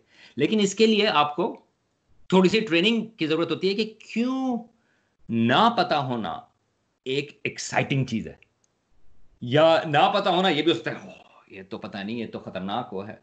तो आई थिंक साइंस के हिसाब से ये बहुत बड़ी ट्रेनिंग है, मगर इसको आप कम्युनिकेट कर सकते हैं। तो यही चीज़ कोशिश होती है कि जब हम बात करें कायनात के सिलसिले में कि अभी आपने बात की कि आइसोट्रोपी के सिलसिले में जब हमने शुरू में बात की थी, वो आई क्या वो आइसोट्रॉपिक नहीं है? पता नहीं। लेट्स सी के क्या निकलता है इसका नतीजा। ठीक है? तो आप उसको इंतज़ार करते हैं। क्या कोई मरीख के ऊपर जो है ज़िंदगी है या नहीं? पता नहीं। एक इंटरेस्टिंग सवाल है। हम इसका पता हाँ। लेकिन हमें मगर अगर हम ये कहेंगे नहीं पता ओ नो नहीं हमें तो पता है। तो ये चीज़ ना पता होना ये एक बड़ा की वो चीज़ है साइंस में, और ना पता होने के ऊपर, एक एक्साइटमेंट और ना पता होने के ऊपर एक मुतमिन होना, ये एक की चीज़ है। और इस वजह से, अगर हम दोबारा से उसके ऊपर आए, वो साइंस और मज़हब का जो हम सेपरेशन की बात करते हैं, उसकी वजह यह है कि आपको ये नहीं पता कि क्या चीज़ हमें नहीं पता और उसका जवाब हमें बाद में मिलेगा। बजाय कि हम ये कहें कि ये चीज़ हमें इसलिए नहीं पता क्योंकि साइंस कभी मालूम ही नहीं कर सकती। ये बहुत बड़ा जवाब है उस सिलसिले में राइट कि क्या मार तो मैं उसकी एक मिसाल ये दूँगा और इसमें मेरा बहुत ज़्यादा इंटरेस्ट जो है वो हिस्ट्री से है। तो ये जो निज़ाम शमसी सोलर सिस्टम इसकी जो ऑरिजिन इंफॉर्मेशन है, वो उन्नीसवीं सदी के शुरू में ऑफिशियली ये जो आई थिंक नई नई बनी थी जियोलॉजिकल एसोसिएशन उसने ये कहा था कि ये जो सवाल है कि हमारा, ये इंग्लैंड की बात है। कि ये जो सवाल है कि सूरज कैसे बना या सोलर सिस्टम कैसे बना निज़ाम शमसी कैसे बना ये सवाल साइंस कभी जवाब इसका नहीं दे सकती। ये तो सिर्फ़ अल्लाह को पता है। ये किसने किसने कहा था? ये geological position royal geological society जो है वो उसकी पोजीशन थी नाइनटीन uh, सेंचुरी में अर्ली नाइनटीन सेंचुरी में। ठीक है? लेट नाइट और ये ये एक टसल चल रही थी सब लोग नहीं कहते ये? तो लप्लास जो है वो एक और जो एक नेचुरल हिस्टोरियन था उस वक्त साइंटिस्ट नहीं थे। साइंटिस्ट जो है एज अ प्रोफेशन साइंटिस्ट जो है वो नाइनटीन सेंचुरी में बने। उससे पहले होते थे नेचुरल हिस्टोरियन या नेचुरल फिलोसफर्स तो लप्लास जो है वो नेचुरल फिलोसफर है फ्रेंच उसकी थ्योरी थी लेट लेट आई थिंक 1890 1796 वगैरह में आई थिंक उसकी वो थी कि एक्रीशन डिस्क कि ये जो uh, हमारा जो निज़ाम हमारा जो सूरज है वो एक किस्म की एक्रीशन डिस्क से बना है। तो वो जो है, वो एक्चुअल में आपको फ़िज़िकल एक्सप्लेनेशन दे रहा था। लेकिन आज ये सवाल कि हमारा सूरज कैसे बना, कोई ये नहीं उठाता कि पता नहीं, ये तो किसी को नहीं पता। नहीं, हमारे पास बहुत अच्छी इनफैक्ट हमारे अपने निज़ाम शमसी के बनने की थ्योरीज जो है, वो बिल्कुल अच्छी तरह से वर्कआउट हुई हुई हैं। ये डिटेल्स हाँ डिटेल्स तो हमेशा से उसके ऊपर काम कर रहे होते हैं, लेकिन ओवरऑल हमें पता है कि यार साढ़े चार अरब साल पहले नेबुला था वो कोलैप्स हुआ। हमारे प्लैनेट्स किस तरह से बने? मर्क्यूरी क्यों? मर्क्यूरी जैसा है वीनस क्यों? मर्क्यूरी वीनस जैसा है ज़मीन क्यों? ज़मीन आप जो है आपके पास ज़बरदस्त किस्म की थ्योरी है। और वो काफ़ी हद तक एक्यूरेट है। तो आ, तो अगेन अगर हम ये कहें कि हमें नहीं पता आज हम बात करें अपनी कायनात के सिलसिले में हो सकता है कि यार कुछ अरसे के बाद जो है बहुत अच्छी थ्योरी हमारे पास मौजूद हो कि बिग बैंग से पहले क्या हुआ था लेकिन फिर भी और सवाल होंगे। दैट्स द की थिंग आप कभी भी आपके पास सवाल खत्म नहीं होंगे क्योंकि अगर आपने वो जवाब दे दिया तो अच्छा उससे पहले और अच्छा और सवाल उठते हैं। So that is the excitement part और मैं एक बात कहूँगा यहाँ पे कि ना ये जो है ना कि टेंडेंसी जो है ये वाली जो भी हम जिसके बारे में हम बात कर रहे हैं कि एक पर्टिकुलर चीज़ के बारे में कह देना कि साइंस इसको एक्सप्लेन नहीं करेगी या फिर ये कभी होगा नहीं। ये सिर्फ़ उन लोगों में नहीं है जिनको साइंस के बारे में नहीं पता। हम हिस्ट्री से देख सकते हैं कई साइंटिस्ट भी ऐसे हैं जिन्होंने ऐसे ऐसे क्लेम्स कर दिए थे। फॉर एग्ज़ाम्पल एक बड़ी मज़ेदार एग्ज़ाम्पल जो है ना वो ये कि कई आई थिंक कई लोग हों जिनका फिजिक्स से बहुत ज़्यादा ताल्लुक नहीं ना होता उनको भी ना रदरफोर्ड के बारे में तो पता ही है ठीक है? रदरफोर्ड आप कहते हैं कि फादर ऑफ़ न्यूक्लियस है ठीक है? बहुत पता है उसको न्यूक्लियस के बारे में। तो 1933 में ना उसने ना ये कहा लंदन में आई थिंक सुबह सुबह के आठ बजे लंदन में उसने कहा एक स्पीच में कि ना ये जो न्यूक्लियर एनर्जी है ना ये कभी नहीं होने वाली। जब उसने ये कहा ना तो 24 घंटे के अंदर पेपर पब्लिश हो गया था फ्यूजन रिएक्शन के ऊपर। यार मैंने कहा जिस प्लेनेट पे इतने मोटिवेटेड और टैलेंटेड यंग लोग मौजूद है ना वहाँ पे ऐसे क्लेम नहीं करने चाहिए कि ये चीज़ कभी होगी नहीं है ये साइंस एक्सप्लेन नहीं कर सकती। गलत साबित हो गया एट दी एंड तो ये इसको ये इतने बड़े बड़े साइंटिस्ट भी करते हैं भाई इसमें दो इसमें दो चीज़ें होती हैं। साइंस अगेन साइंस इसलिए कामयाब होती है क्योंकि कोई ऐसी चीज़ नहीं है कि जी ये चीज़ तो आइंस्टाइन ने कह दी अब आप उसको हम्म। सवाल नहीं उठा सकते। ये चीज़ सब, सब लोगों का काम ही होता है कि अगर आइंस्टाइन ने कह दिया तो अच्छा हम इसको क्या गलत साबित कर सकते हैं? इसका ये मतलब नहीं है कि हर बंदा जो गलत साबित करने की कोशिश कर रहा है वो सही है। नहीं कोई हाँ। वजह है कि आइंस्टाइन की थ्योरीज जो है वो क्यों इतनी कामयाब है? तो एक तो ये है कि साइंस में आपका हर हर सवाल कोई भी स्टैब्लिश चीज़ आप सवाल उठाते हैं। ठीक है? हम्म। दूसरी चीज़ ये है कि साइंसदान जो है वो भी इंसान है। तो जिस हम्म। तरह से वेरिएशन उसमें है साइंसदानों में भी वो वैसी किस्म की वेरिएशन है। और ना सिर्फ़ ये ख़ास तौर से साइंसदानों की जब उम्र ज़रा ज़्यादा होनी शुरू होती है तो वो आपकी एक ईगो जो है वो भी होती है। साइंसदान मेरा ख्याल है उनकी रिलेटिवली ज़्यादा ईगो होती है खासतौर से जो बड़े वाले होते हैं। और हम अगेन कॉस्मोलॉजिस्ट की बात करते हैं क्योंकि वो पूरी कायनात की बात कर रहे हैं। तो ये कई दफ़ा होता है कि जब वो अपनी बड़ी उम्र में पहुँचना शुरू करते हैं तो उनका ख्याल ये होता है कि जो प्रॉब्लम्स वो सॉल्व नहीं कर सके वो अनसॉल्वेबल प्रॉब्लम्स है वो कोई भी सॉल्व नहीं कर सकता। लेकिन मसला ये होता है कि वो अगला कोई बीस साल वाला बंदा आएगा पच्चीस साल वाला बंदा आएगा वो कहेगा यार आप क्या बात कर रहे हो? यार ये लो इसका जवाब यह है। तो I mean that's how it works तो खाली कोई चीज़ आप उसके ऊपर इसलिए यकीन कर लें क्योंकि वो एक बड़े साइंसदान ने कही है वो नहीं है। बिल्कुल। यानी कि आप कहते हैं कि साइंस की एक बड़ी कामयाबी जो है वो ये है कि जो इन्वेस्टिगेशन है यूनिवर्सिटी इसमें से ह्यूमन एलिमेंट को बिल्कुल ही निकाल दिया गया। यानी कि इट डजेंट मैटर कि आप कौन हो। फॉर एग्जांपल अभी हम आइंस्टाइन की बात कर रहे हैं। आइंस्टाइन जो है वो उसने जनरल रिलेटिविटी का जो फॉर्मेलिज्म है वो कई साल तक इलेक्ट्रोमैग्नेटिज्म पे लगाने की कोशिश की है। जस्ट बिकॉज़ ऑफ़ उसने ये पहले यूज़ किया था। स्टीफन हॉकिंग ने कहा था कि हिग्स बोसॉन कभी डिस्कवर नहीं होगा। स्टीफन हॉकिंग ने कहा राइट राइट ऐसा नहीं लोगों ने ढूंढना छोड़ दिया था उसके बाद। तो अच्छा एक और बात ये कि आपका जो है पाकिस्तान में जो एस्ट्रोनॉमी का फ्यूचर है अगले पाँच साल में फॉर एग्जांपल वो क्या देखते हैं? अच्छा नज़र आ रहा है अब लेकिन दो चीज़ें हैं। एक तो ये है कि अगर मैं कंपेयर करूँ पिछले तीस पैंतीस साल में जब से मैं इंटरेस्टेड था एस्ट्रोनॉमी में पाकिस्तान में आई मीन उस वक्त कोई पाकिस्तान में एस्ट्रोनॉमी की कोई सोसाइटीज़ मौजूद नहीं थी ठीक है? मैंने शुरू की थी कुछ लोगों के साथ मिल के एटीज़ में एस्ट्रो पार्क के नाम से लेट एटीज़ में eighty eighty seven eighty eight में और दैट वाज इट और उस वक्त इंटरनेट भी मौजूद नहीं था तो हमें इंफॉर्मेशन लेना जो है वो एक मेजर मुश्किल होती थी कि अगर आपने किसी चीज़ के बारे में पता करना है एस्ट्रोनॉमी के बारे में वो किस तरह से पता करें?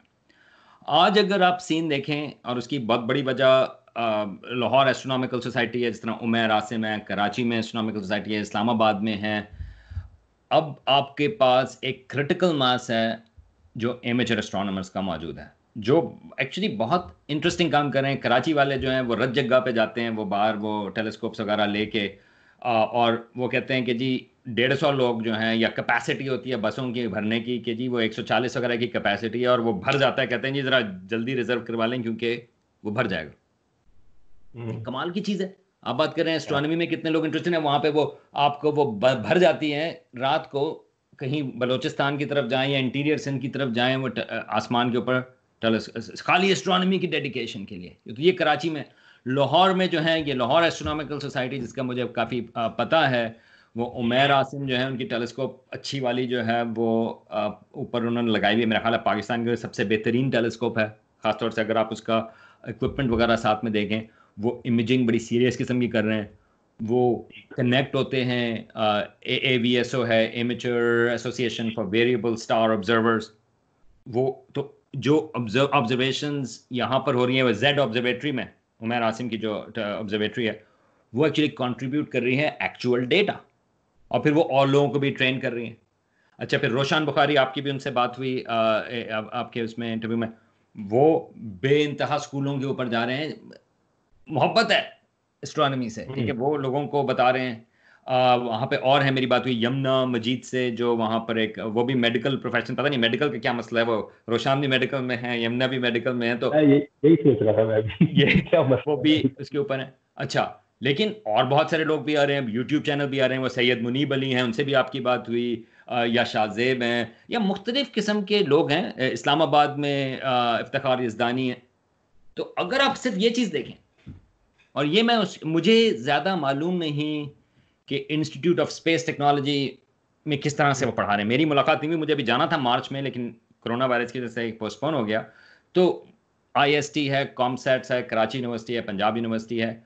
उसमें हमेशा मिक्सड मैसेजेस मिलते हैं कि पता नहीं कैसा एक्चुअल में काम हो रहा है। तो मैं उसके सिलसिले में कमेंट इसलिए दे सकता हूँ कि मुझे डिटेल्स नहीं पता। लेकिन अगर आप एमेचर एस्ट्रोनॉमी सीन देखें जिसका मुझे ज़्यादा पता है और मैं ट्रेस कर सकता हूँ तीस पैंतीस साल की ट्रेजेक्ट्री तो दैट्स हम्म। और उसको और उसको आप लिंक करें। ख्वारजमी साइंस सोसाइटी है जिसमें वो साइंस मेला होता है जिसमें बेानतहा लोग आ रहे हैं। वो सक्सेसफुल है पिछले दो तीन सालों से जब वो मेला हो रहा है लाहौर में तो बहुत सारे लोग जो हैं वो साइंस के लिए आ रहे हैं। अब क्या ये ट्रांसलेट हो सकती है? प्रोफेशनल एस्ट्रोनॉमी में मेरा ख्याल है कि ये एक पैथ है। अगर आप ये देखें इसमें से कुछ लोग जो हैं अब मुझे पता चलता जा रहा है कि इधर उधर जो हैं लोग के फलाना जो है वो भी अब एस्ट्रोनॉमी में उन्होंने पीएचडी कर ली। उन्होंने भी आपने आई थिंक किसी और से बात की थी इंग्लैंड में ही कोई एस्ट्रोनॉमर है कॉस्मोलॉजिस्ट कॉस्मोलॉजिस्ट है। हाँ अब उनका मुझे पता नहीं था तो पता चला कि ओ अच्छा ये एक और कॉस्मोलॉजिस्ट हैं पाकिस्तानी जो कहीं और हैं। अभी मुझे कल एक ईमेल आई कि एक स्टूडेंट है जिसने अभी अंडर ग्रेजुएट डिग्री अभी ख़त्म की है मिनेसोटा में और वो पीएचडी में उनका दाखिला हुआ है यूनिवर्सिटी ऑफ़ एरिजोना में। वो रेड शिफ्ट गैलेक्सीज में हाई रेड शिफ्ट गैलेक्सीज में वो काम करना चाह रहे हैं। अच्छा मुझे नहीं पता था। तो अब अगर हम उस चीज़ की बात करें कि ये एमेचर सीन जो है ब्रॉड आपको एक सपोर्ट चाहिए कि लोग जो है वो एक जनरली कहें कि हाँ यार ये एक एक्चुअली इंटरेस्टिंग चीज़ है। और उसमें से कुछ फ्रैक्शन जो है वो प्रोफेशनल एस्ट्रॉनमी में जाएँगी। तो मुझे जो लगता है कि अगर हम पाकिस्तान की ट्रजेक्ट्री देखें इस हिसाब से तो उसका एक relatively I am not going to say कि ओ ब्राइट फ्यूचर है, लेकिन एक फ्यूचर है। ठीक है? मतलब यह है कि प्रोफेशनल एस्ट्रोनॉमी वहाँ पे हो सकती है। अब आपको कनेक्शन चाहिए होता है कि क्या वहाँ पे ऑन द ग्राउंड कोई इस किस्म का इंस्टीट्यूट कोई इस किस्म का कुछ यूनिवर्सिटी में इस्टेब्लिश हो सके कि जिससे एस्ट्रोनॉमी आपको फिर एक और क्रिटिकल मैच चाहिए प्रोफेशनल एस्ट्रोनॉमर्स का। अब ये कनेक्शन जो है वो आ, बड़ा है और आई मीन अगेन मुझे थोड़ा सा पता है ताइवान और कोरिया का और इंडिया का भी थोड़ा सा पता है कि उसमें जो है बहुत सारी जो डेवलपमेंट थी खासतौर से कोरिया और ताइवान का मुझे ज़्यादा पता है बल्कि मैं यूनिवर्सिटी ऑफ़ मैसाचुसेट्स जो है, मैं पार्ट हूँ फाइव कॉलेज एस्ट्रोनॉमी डिपार्टमेंट का यूनिवर्सिटी ऑफ़ मैसाचुसेट्स एमर्स्ट उसका हिस्सा है। और उनकी डीप कोलेबोरेशन है कोरिया से, क्योंकि कुछ इनके यहाँ पे एस्ट्रोनॉमर्स हैं, जिनके ओरिजिनली जो कोरिया से आए, एक एस्ट्रोनॉमर जब वापस चले गए एंड सो अब यू मैस और कोरियन एक यूनिवर्सिटी का डायरेक्ट कनेक्शन है तो आपको एक्सेस मिलता है टेलीस्कोप से एंड मोर देन दैट आपका एक कनेक्शन बनता है कि आपके और प्रोफेशनल एस्ट्रोनॉमर से आप बातचीत कर सकें। वाहिद आदमी जो है, वो वो जो एक कहानी थी ना कि वो एक बंदा बैठा हुआ है टेलीस्कोप के ऊपर या एक बंदा बैठ के सोच रहा है कि यार ये इन कायनात कैसे बनी, मैं जरा इसका जवाब निकालता इस तरह से काम नहीं होता। आपका सबसे ज़्यादा आपके पास डेटा का भी मसला नहीं है। क्योंकि अब ज़्यादातर डेटा जो है, बहुत ज़्यादा डेटा जो है, आपको टेलीस्कोप की एज सच ज़रूरत बड़ी वाली टेलीस्कोप की इसलिए नहीं है क्योंकि आपको बहुत सारा डेटा जो है आपको फ्री मिल सकता है ऑनलाइन आपको हबल स्पेस टेलीस्कोप का पब्लिक डेटा है जितनी भी स्पेस टेलीस्कोप हैं वो तमाम जो है वो पब्लिक हैं. लेकिन यार अगर आपको ये नहीं पता कि आप डेटा के साथ करेंगे क्या तो डेटा हम्म। का मिलने का नहीं. आपको ये किस तरह से आपको ट्रेनिंग चाहिए कि उस डेटा को आप इस्तेमाल किस तरह से करें? उसका ताल्लुक जो है वो फिर पाकिस्तान में टेलीस्कोप्स के इस्तेमाल से. क्योंकि अगर आप छोटी टेलीस्कोप्स इस्तेमाल करेंगे तो उससे आपको एक्सपीरियंस मिलता है क्योंकि आप स्केल अप करते हैं कि अच्छा हाँ इसका प्रिंसिपल क्या है? तो अब जो उमेर कर रहा है that's actually really good Lahore astronomical society में कि वो एक एक्सपीरियंस मिलता है कि आप सी किस तरह से यूज़ करते हैं आप उसमें इमेज मैनिपुलेशन किस तरह से करते हैं आप सॉफ्टवेयर कौन सा यूज़ करते हैं और फिर आपका हम्म, ताल्लुक हो किसी और जगह पर एस्ट्रोनमर से। तो आई थिंक ये हो सकता है हमें इसमें ऑर्गेनाइज होने की ज़रूरत है। हमारे पास अब इतने लोग मुख्तलिफ़ रेंज में हैं एस्ट्रोनॉमी में शौक में और एस्ट्रोनॉमी की प्रोफेशनल उसमें कि मेरा ख्याल है हम्म। कि इट कैन डेवलप अभी आपने बात ना सॉफ्टवेयर की बड़ा ज़रूरी है समझना कि आज के एरा में सॉफ्टवेयर का पता होना बहुत ज़रूरी है कि ऐसा नहीं है कि आप डाटा पकड़ के इसमें ट्रायल एंड एरर करना शुरू कर दोगे फॉर एग्ज़ाम्पल अगर अभी आपने एक और बात की कि आज के एरा में ऐसा नहीं हो सकता कि एक ही बंदा बैठ के काम कर रहा है क्योंकि फॉर एग्ज़ाम्पल अगर मैं पर्टिकुलरली बात करूँ ग्रेविटेशनल वेव एस्ट्रोनॉमी की, उसमें कभी जो पेपर छपते हैं, उनमें नंबर ऑफ़ ऑथर देखना सीखने होते हैं। बहुत seven hundred eight hundred author तो आराम से हो जाती। है क्योंकि वो इतना लोगों का काम चाहिए होता है वहाँ पे। यहाँ पे एक और बात मैं पूछना चाह रहा था, वो ये कि पाकिस्तान में इससे, यानी आज से पहले ये कल्चर रहा ही नहीं है कि प्रोफेशनल एस्ट्रोनॉमी का। लेकिन अब हम कह रहे हैं कि इंशाल्लाह आहिस्ता आहिस्ता ये प्रोफेशनल एस्ट्रोनॉमर्स की जो वो है आप कह सकते हैं कि जनरेशन आ रही है। तो एक और बात यह कि जब ऐसा होता है ना कि किसी पर्टिकुलर कंट्री के अंदर एक नई फ़ील्ड डेवलप होना शुरू होती है तो जो पहली जनरेशन होती है ना, उस पर बहुत रिस्पॉन्सिबिलिटी होती है। वो उसको शुरू में हो सकता है कि फील ना करे, लेकिन उनको एक फील करवाना बड़ा ज़रूरी है कि आप पे कितनी बड़ी रिस्पॉन्सिबिलिटी है। कि अगर आप अच्छा करोगे और आप आने वालों को ज़्यादा मोटिवेट करोगे यहाँ पे आने के लिए, तभी ग्रो करेगा। नहीं तो अगर ऐसा हो कि कुछ एस्ट्रोनॉमर्स आ जाए पाकिस्तान में और उसके बाद वो कुछ सालों बाद मर जाए। उन्होंने कोई आगे अपने यू नो प्रोड्यूस नहीं किया स्टूडेंट्स वगैरह तो कोई फ़ायदा नहीं है। तो ये बहुत बड़ी रिस्पॉन्सिबिलिटी इस बारे में कुछ कहना चाहेंगे? हाँ आई I मीन mean, ये बड़ा ट्रिकी चीज़ है। आ, हम्म। तो पहली चीज़ तो ये है कि आई मीन अगर आप ये सवाल पूछेंगे क्या हर इंसान को एस्ट्रोनॉमी करनी चाहिए मैं कहूँगा कि नहीं right I mean like you बहुत सारे फैक्टर्स उसमें आते हैं कि आप किस तरह से एस्ट्रोनॉमी करें। अब एस्ट्रोनॉमी जो है वो एक रेगुलर पाथ नहीं है। आपके पास जो है ऐसा नहीं है कि इंजीनियर डॉक्टर या आपने वो एमबीए करना है या सीए करना है आपके पास में एक स्टैंडर्ड पाथ है। हमने क्या करना है? अच्छा ये आपने कर लिया। आप आँखें बंद करके आप एक डायरेक्शन में जा सकते हैं। हम्म। अगर आपने एस्ट्रोनॉमी करनी है खासतौर से पाकिस्तान के हिसाब से और मैं कहूँगा कि बाकी जगहों पे भी मगर बाकी जगहों पे अमेरिका में फॉर एग्जांपल थोड़ा सा आपके पास ज़्यादा चॉइसेस हैं। और हम्म। एक तरह से एक पैथ है कि आप नासा में काम कर सकते हैं या आप प्रोफेसर बन सकते हैं राइट हम्म। पाकिस्तान में वो चॉइसेस रिलेटिवली कम है। तो बहुत सारे फैक्टर्स उसमें आते हैं कि अगर कोई ये सवाल पूछे कि क्या मैं एस्ट्रोनॉमी करूँ? और आपने जो रिस्पॉन्सिबिलिटी की बात की, मेरे पास ये सवाल अक्सर लोग पूछते हैं, ठीक है? चैनल की वजह से भी और एस्ट्रोनॉमी की वजह से भी ये सवाल कि, आप मुझे ये बताएँ कि मैं क्या करूँ? मुझे एस्ट्रोनॉमर बनना है अब इसका जो जवाब है, वो कॉम्प्लेक्स है। मेरी आपने रिस्पॉन्स ज़िम्मेदारी की बात कर रहे हैं उस हिसाब से भी, क्योंकि अब इकोनॉमिकली भी एक आपकी सेंस बननी चाहिए इन द सेंस के आपको ये पता होना चाहिए रियलिस्टिकली कि अगर आप एस्ट्रोनॉमी में जा रहे हैं आपके पास जॉब्स की क्या सिचुएशन है क्या चॉइसेस हैं? दूसरी चीज़ ये है कि आपको ये भी पता होना चाहिए कि और ये एक मुश्किल चीज़ है क्योंकि जब हम साइंस कम्युनिकेशन करते हैं हम कहते हैं कि हर इंसान जो है उसको एस्ट्रोनॉमी का शौक होना चाहिए। कुछ है आई थिंक ये सही बात है क्योंकि ये एक इंपॉर्टेंट चीज़ है एक अच्छी चीज़ है आपकी सोच बनाती है। लेकिन हर इंसान जो है वो एस्ट्रोनॉमी नहीं कर सकता। इसकी वजह ये हम्म। चाहे वो करना भी चाहे क्योंकि आपको उसके लिए पर्टिकुलर मैथमेटिकल बैकग्राउंड चाहिए। यार आप को बहुत शौक हो सकता है कि जब शौक वाली चले मैं आपको मिसाल इस चीज़ की देता हूँ। जब मैं एस्ट्रोनॉमी में मैंने मैं मैं अमेरिका आया था अंडर ग्रेजुएट के लिए और मैं आया था कंप्यूटर साइंस में क्योंकि मुझे कभी इजाज़त नहीं मिलती घर से अगर मैं एस्ट्रोनॉमी के लिए आना चाहता ठीक है? अच्छा अब लेकिन मुझे और मुझे इसका भी एक खदशा था कि एक फ़र्क है जो एस्ट्रोनॉमी एक पॉपुलर एस्ट्रोनॉमी है। ओ हबल स्पेस की हम्म। ये टेलीस्कोप टेलीस्कोप की ये तस्वीर फलाना तस्वीर ओ कितनी खूबसूरत है ओरायन नेबुला लेकिन जब आप एक्चुअल में रिसर्च करते हैं तो भाई आप तस्वीरों के ऊपर आप नहीं देख रहे होते आप देख रहे होते हैं कि अच्छा स्पेक्ट्रम कैसे नज़र आ रहा है अच्छा ये कैलकुलेशन क्या बता रही है आप इक्वेशंस देख रहे हैं। ठीक है? अब मुझे ये नहीं पता था कि क्या मैं मुझे एक्चुअल एस्ट्रोनॉमी जब मैं ग्राफ देख रहा हूँ या मैं स्पेक्ट्रम देख रहा हूँ या मैं इक्वेशन देख रहा हूँ, क्या वो मेरे लिए एक्साइटिंग होगी या नहीं होगी? अब तस्वीरें तो मुझे बड़ी पसंद है, ठीक है? तो अच्छा तो ये एक स्टेप है। अच्छा मुझे पता चला कि हाँ नहीं, ये तो लेकिन फिर उसके बाद ये होता है कि अच्छा अगर आपने अब एस्ट्रोनॉमी के लिए आप फिजिक्स करते हैं आई मीन अंडर ग्रेजुएट में मेरी फिजिक्स और मैथ की फिजिक्स और एस्ट्रोनॉमी की डिग्री है मेरा मास्टर्स भी मेरा फिजिक्स में है और एस्ट्रोनॉमी में और पीएचडी मेरी एस्ट्रोनॉमी में है। तो आप बेसिकली फिजिक्स कर रहे हैं।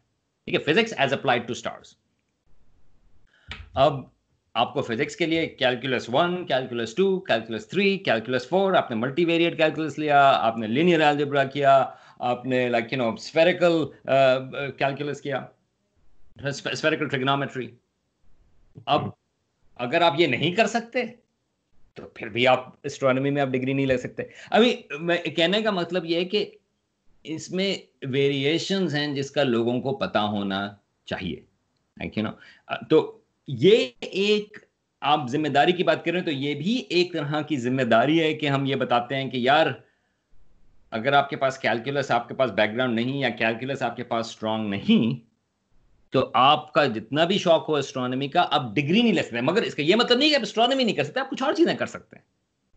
तो मैं असल में जब मैं रिस्पॉन्सिबिलिटी की जो बात कर रहा था ना मैं उन लोगों के लिए कर रहा था जो बन गए हैं एस्ट्रोनॉमर हाँ।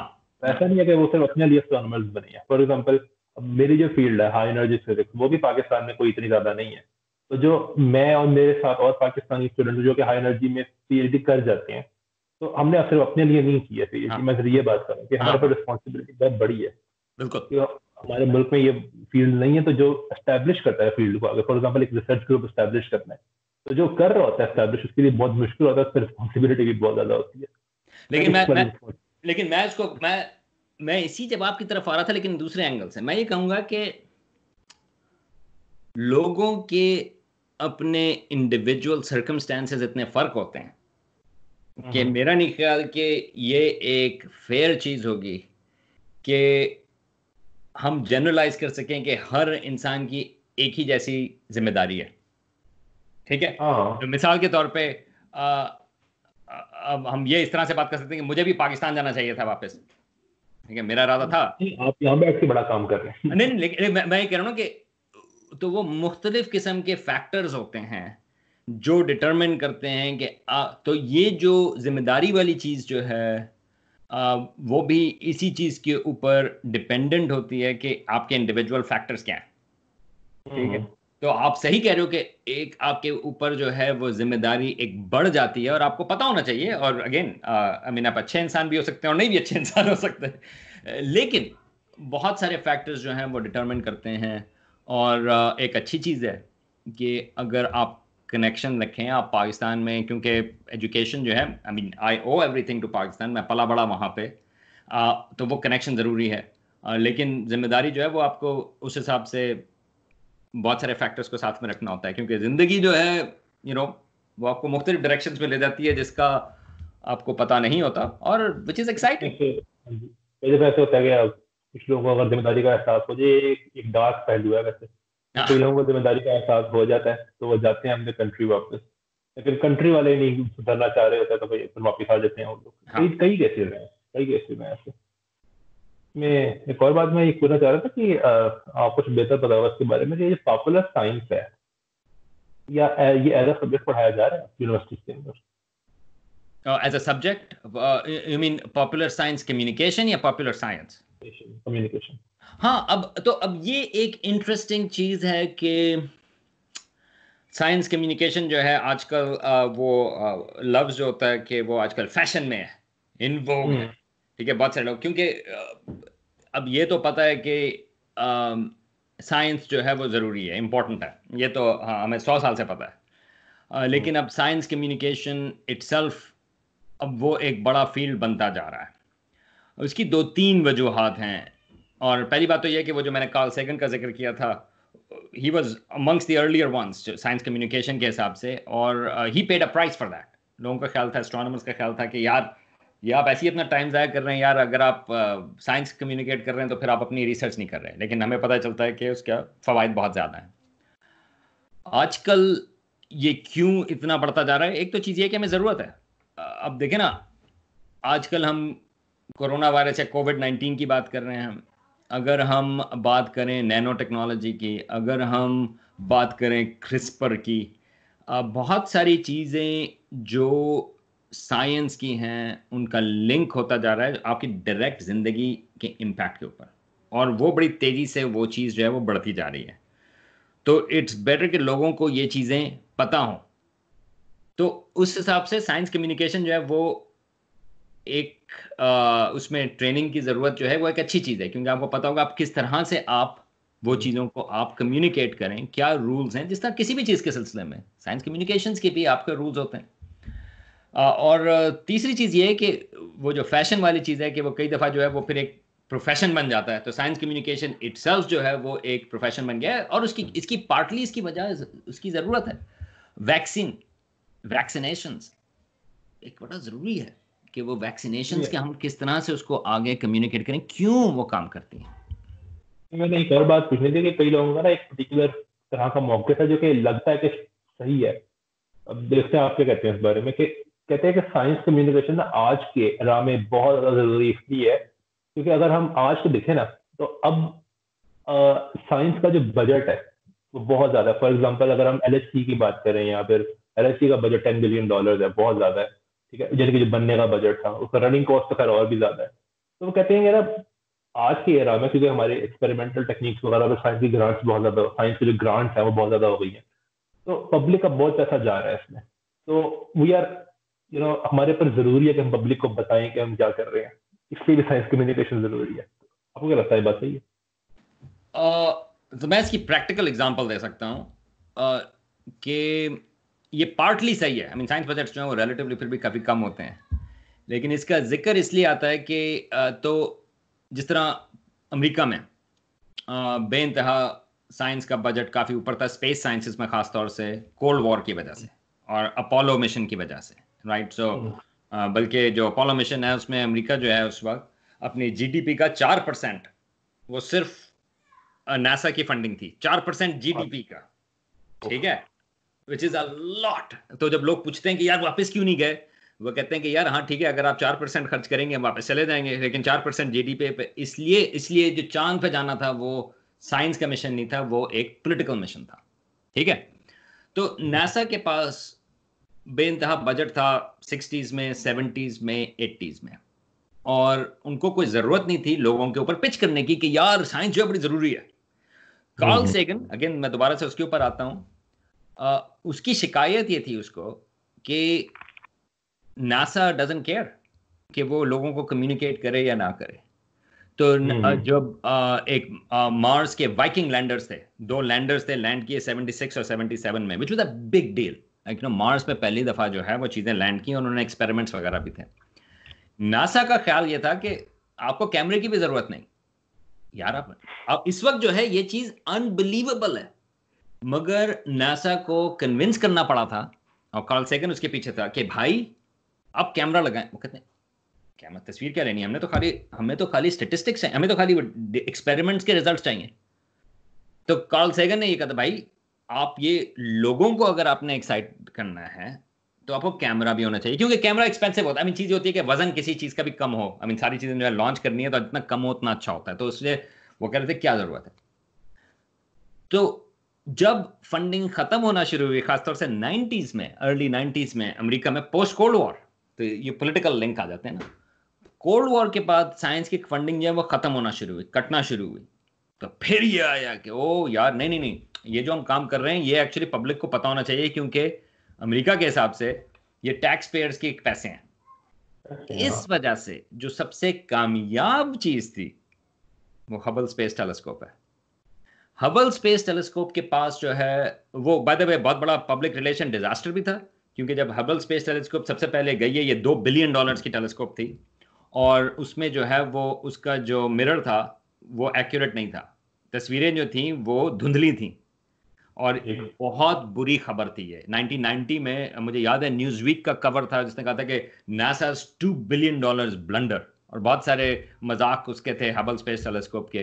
मगर फिर इन्होंने सर्विसिंग मिशन भेजा जो इज़ एन अमेजिंग सक्सेस और वो फिर 1992 में टेलीस्कोप ठीक हो गई।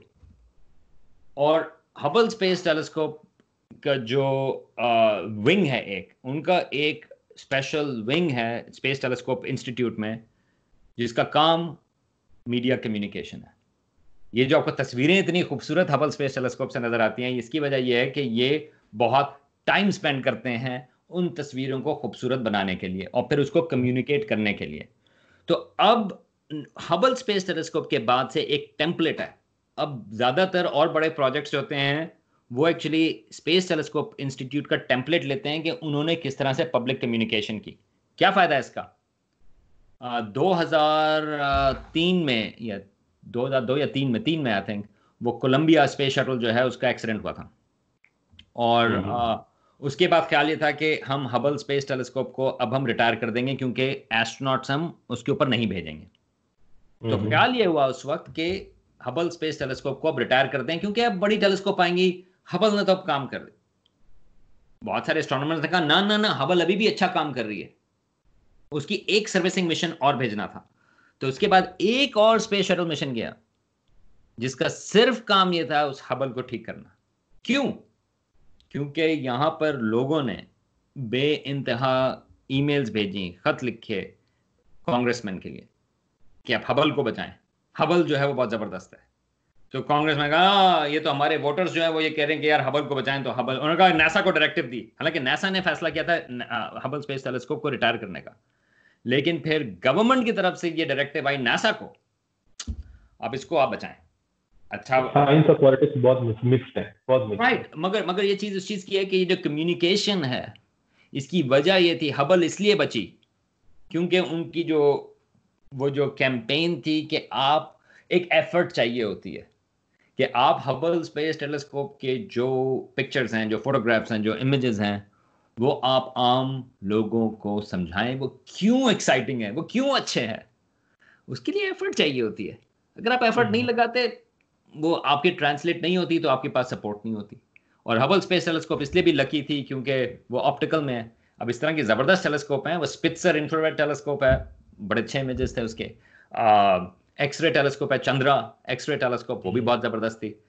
एक Compton X gamma ray telescope थी ये चार बड़ी वाली थी स्पेस टेलीस्कोप जो हैं चार। ग्रेट ऑब्जर्वेटरीज प्रोजेक्ट था। अब उसमें से हबल सबसे मशहूर है क्योंकि हबल जो है वो ऑप्टिकल में है तो लोग ज़्यादा रिलेट करते हैं। अब वो हम्म। चंद्रा एक्सरे टेलीस्कोप है तो बहुत अच्छी ज़बरदस्त है उसका काम भी ज़बरदस्त है। लेकिन वो एक्सरे में लोग कहते हैं यार हाँ? उसी ने दिया आइसोट्रॉपी वाली। हाँ एग्जैक्टली तो अब वो कहते हैं यार लोगों को समझ में आप एक्सरेज की बात कर रहे हैं लोगों का ख्याल होगा कि यार आपकी वो वो आपका वो आ, क्या कहते हैं स्केलेटन बताएगा कि नहीं लेकिन एक्सरेज जो है वो बाहर है। तो तो इसलिए कहने का मकसद ये है कि साइंस कम्युनिकेशन इस हिसाब से ज़रूरी है और एक लिहाज से अगेन क्योंकि मैं तो यहाँ पर हूँ ग्रांट्स अगर मिलती हैं या मैं यूनिवर्सिटी में काम कर रहा हूँ वो सारे लिंक्ड हैं पब्लिक टैक्स पेयर इन्वॉल्वमेंट में। तो दैट्स वाई वो हमारी रिस्पॉन्सिबिलिटी है कि हम लोगों को दें। uh, मैं ये कहूँगा कि जब मैं ग्रेजुएट स्कूल में था न्यू मैक्सिको में uh, हमारी जो ग्रेजुएट स्टूडेंट्स की जॉब थी ड्यूटी थी उसमें ये चीज़ शामिल थी कि हम पब्लिक ऑब्जर्विंग करें टेलीस्कोप पे।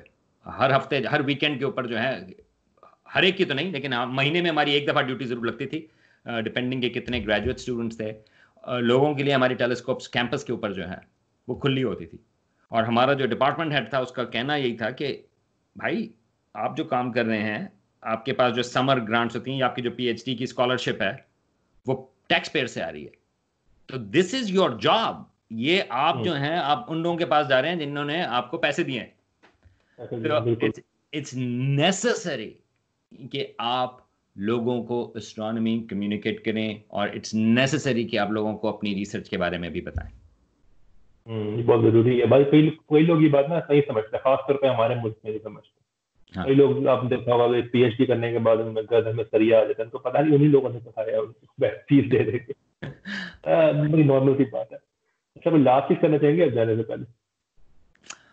नहीं आप आई मीन आपसे बात करके आई मीन ये आप जो है, एक और डेटा पॉइंट है उस हिसाब से कि किस तरह से चीज़ें बदल रही हैं। तो आई मीन एक आई मीन मैं जनरली मैं एक ऑप्टिमिज्म के हिसाब से होता हूँ तो मेरे ख्याल में अब बहुत सारे लोग जो हैं, आपने जिस तरह से ये आप खुद हाई एनर्जी फिजिक्स में हैं, आप ट्रियस में हैं, आप तो ये आप एक और लेयर है मेरे ख्याल में मुझे ये चीज़ें एक पॉजिटिव लिंक देती हैं। मेरे ख्याल में जो ट्रेंड है वो एक पॉजिटिव है क्योंकि अब मैं देख रहा हूँ कि बहुत सारे यंग लोग जो हैं वो अब सीरियस प्रोफेशनल एस्ट्रोनॉमी और फिजिक्स की तरफ़ जा रहे हैं। I mean I mean cosmology I mean मैं बात कर रहा हूँ नॉट फिजिक्स फिजिक्स आई मैं बात कर रहा हूँ कि एस्ट्रोनॉमी रिलेटेड फिजिक्स और ये एक पॉजिटिव चीज़ है अब चीज़ इंटरेस्टिंग चीज़ ये होगी कि इसको किसी तरह से कंसोलिडेट किस तरह से करें। और ये स्टेप बड़ा इंपॉर्टेंट है और अगेन हर बंदा नहीं कर सकता। आई डोंट नो कि कौन करेगा। Right right? अभी जिस तरह से मैंने कहा वो ज़िम्मेदारी वाली बात कि बहुत सारे फैक्टर्स होते हैं जो डिटरमिन करते हैं कि आप क्या कर रहे हैं और क्यों कर रहे हैं। लेकिन मेरा ख्याल है कि पाकिस्तान में इस वक्त, और ये एक स्पेसिफिक चीज़ है जो एस्ट्रोनॉमी पाकिस्तान में क्लिक कर रही है। बहुत सारी और चीज़ें भी क्लिक कर सकती थी लेकिन एस्ट्रोनॉमी क्लिक कर रही है। आई डोंट नो क्यों which is an interesting thing है एस्ट्रोनॉमी क्लिक कर रही है एक लार्ज फ्रैक्शन में। लोगों की सपोर्ट भी मौजूद है लोग रिस्पॉन्ड भी कर रहे हैं। लाहौर साइंस मेला या खौर या लाहौर एस्ट्रोनॉमिकल सोसाइटी या कराची वाले या इस्लामाबाद वाले यू कैन एक्चुअली सी के लोगों का इंटरेस्ट है लोग रिस्पॉन्ड कर रहे हैं। mm-hmm. तो इट कैन ये कि ट्रांसलेट हो सकती है एक एक्चुअल प्रोफेशनल सेंटर या इंस्टीट्यूट या इस किस्म की चीज़ में क्योंकि आपको बैकिंग मिल सकती है। अब सवाल ये है कि आपको इंडिविजुअल चाहिए जो कि ये स्टेप लें, जो वहाँ पर इन चीज़ों को इस्टेब्लिश कर सकें। अब वो एक बड़ा एक इंपॉर्टेंट स्टेप होगा। क्या कोई कर सकता है? आई डोंट नो ये मुझे पता नहीं। लेकिन मेरा ख्याल है कि रॉ मटेरियल इस वक्त, अगर आज हम बात कर रहे हैं 2020 में, मैं ये कहूँगा कि अब हमारे पास रॉ मटेरियल मौजूद है कि एक पाकिस्तान में एस्ट्रोनॉमी एक अच्छी तरह से प्रोफेशनल एस्ट्रोनॉमी जो है वो एक ब्लॉसम करे। इंडिया हम हमेशा हम उनसे मुकाबले की बात करते हैं। uh, वो बहुत अच्छा काम कर रहे हैं एस्ट्रोनॉमी में और हम उनसे काफ़ी I mean I don't know कि अब क्या सूरत हाल है वहाँ पे uh, लेकिन एक लिहाज से हम उनसे बहुत हेल्प ले सकते हैं लोकल कॉन्टेक्स्ट में क्योंकि उनके पास टेलीस्कोप्स ऐसी मौजूद हैं जो एक प्रोफेशनल क्लास की टेलीस्कोप्स हैं। Uh, लेकिन खाली ये नहीं आई मीन एक वो क्या कहते हैं हमें हम्बल होने की ज़रूरत है। एक अच्छी चीज़ है कि उन लोगों की इतनी तरक्की हुई भी है। तो सवाल ये है कि अब पाकिस्तान में आप प्रोफेशनल क्रिटिकल मैथ्स वो किस तरह से हो? और अगेन मेरी ये सारी बात जो है वो इस कैवियाट के साथ है कि मुझे ये नहीं पता कि आईएसटी और कॉमसेट वगैरह जो हैं वो कितना उनके पास साउंड वो प्रोफेशनल एस्ट्रोनॉमी की तरफ़ बेसिस मौजूद है। आ, लेकिन इस वक्त मुझे नज़र नहीं आता कि आज इस वक्त प्रोफेशनल एस्ट्रोनॉमी ब्लॉसम कर रही है पाकिस्तान में लेकिन उसके रॉ मटेरियल मौजूद है। तो अगर हम इनशाला आपसे यार दस साल में बात करें तो मुझे उम्मीद होगी अगर आप ये पूछेंगे दस साल में क्या हो रहा होगा। I think it would be amazing कि हम दस साल के बाद हम बैठे हो कहेंगे यार इस वक्त जो है पाकिस्तान जो है वो एक्स्ट्रा गलेक्टिक एस्ट्रॉनमी में तो बहुत अच्छा काम कर रहा है। लेकिन यार पाकिस्तान को जो है वो मेरा ख्याल है थोड़ा सा सोलर एस्ट्रॉनमी की तरफ़ भी जाना चाहिए। आ, हमने जो है वो क्या कहते हैं स्टेलर एस्ट्रॉनमी भी ठीक ठाक है लेकिन हमें सोलर सोलर टेलीस्कोप्स की बात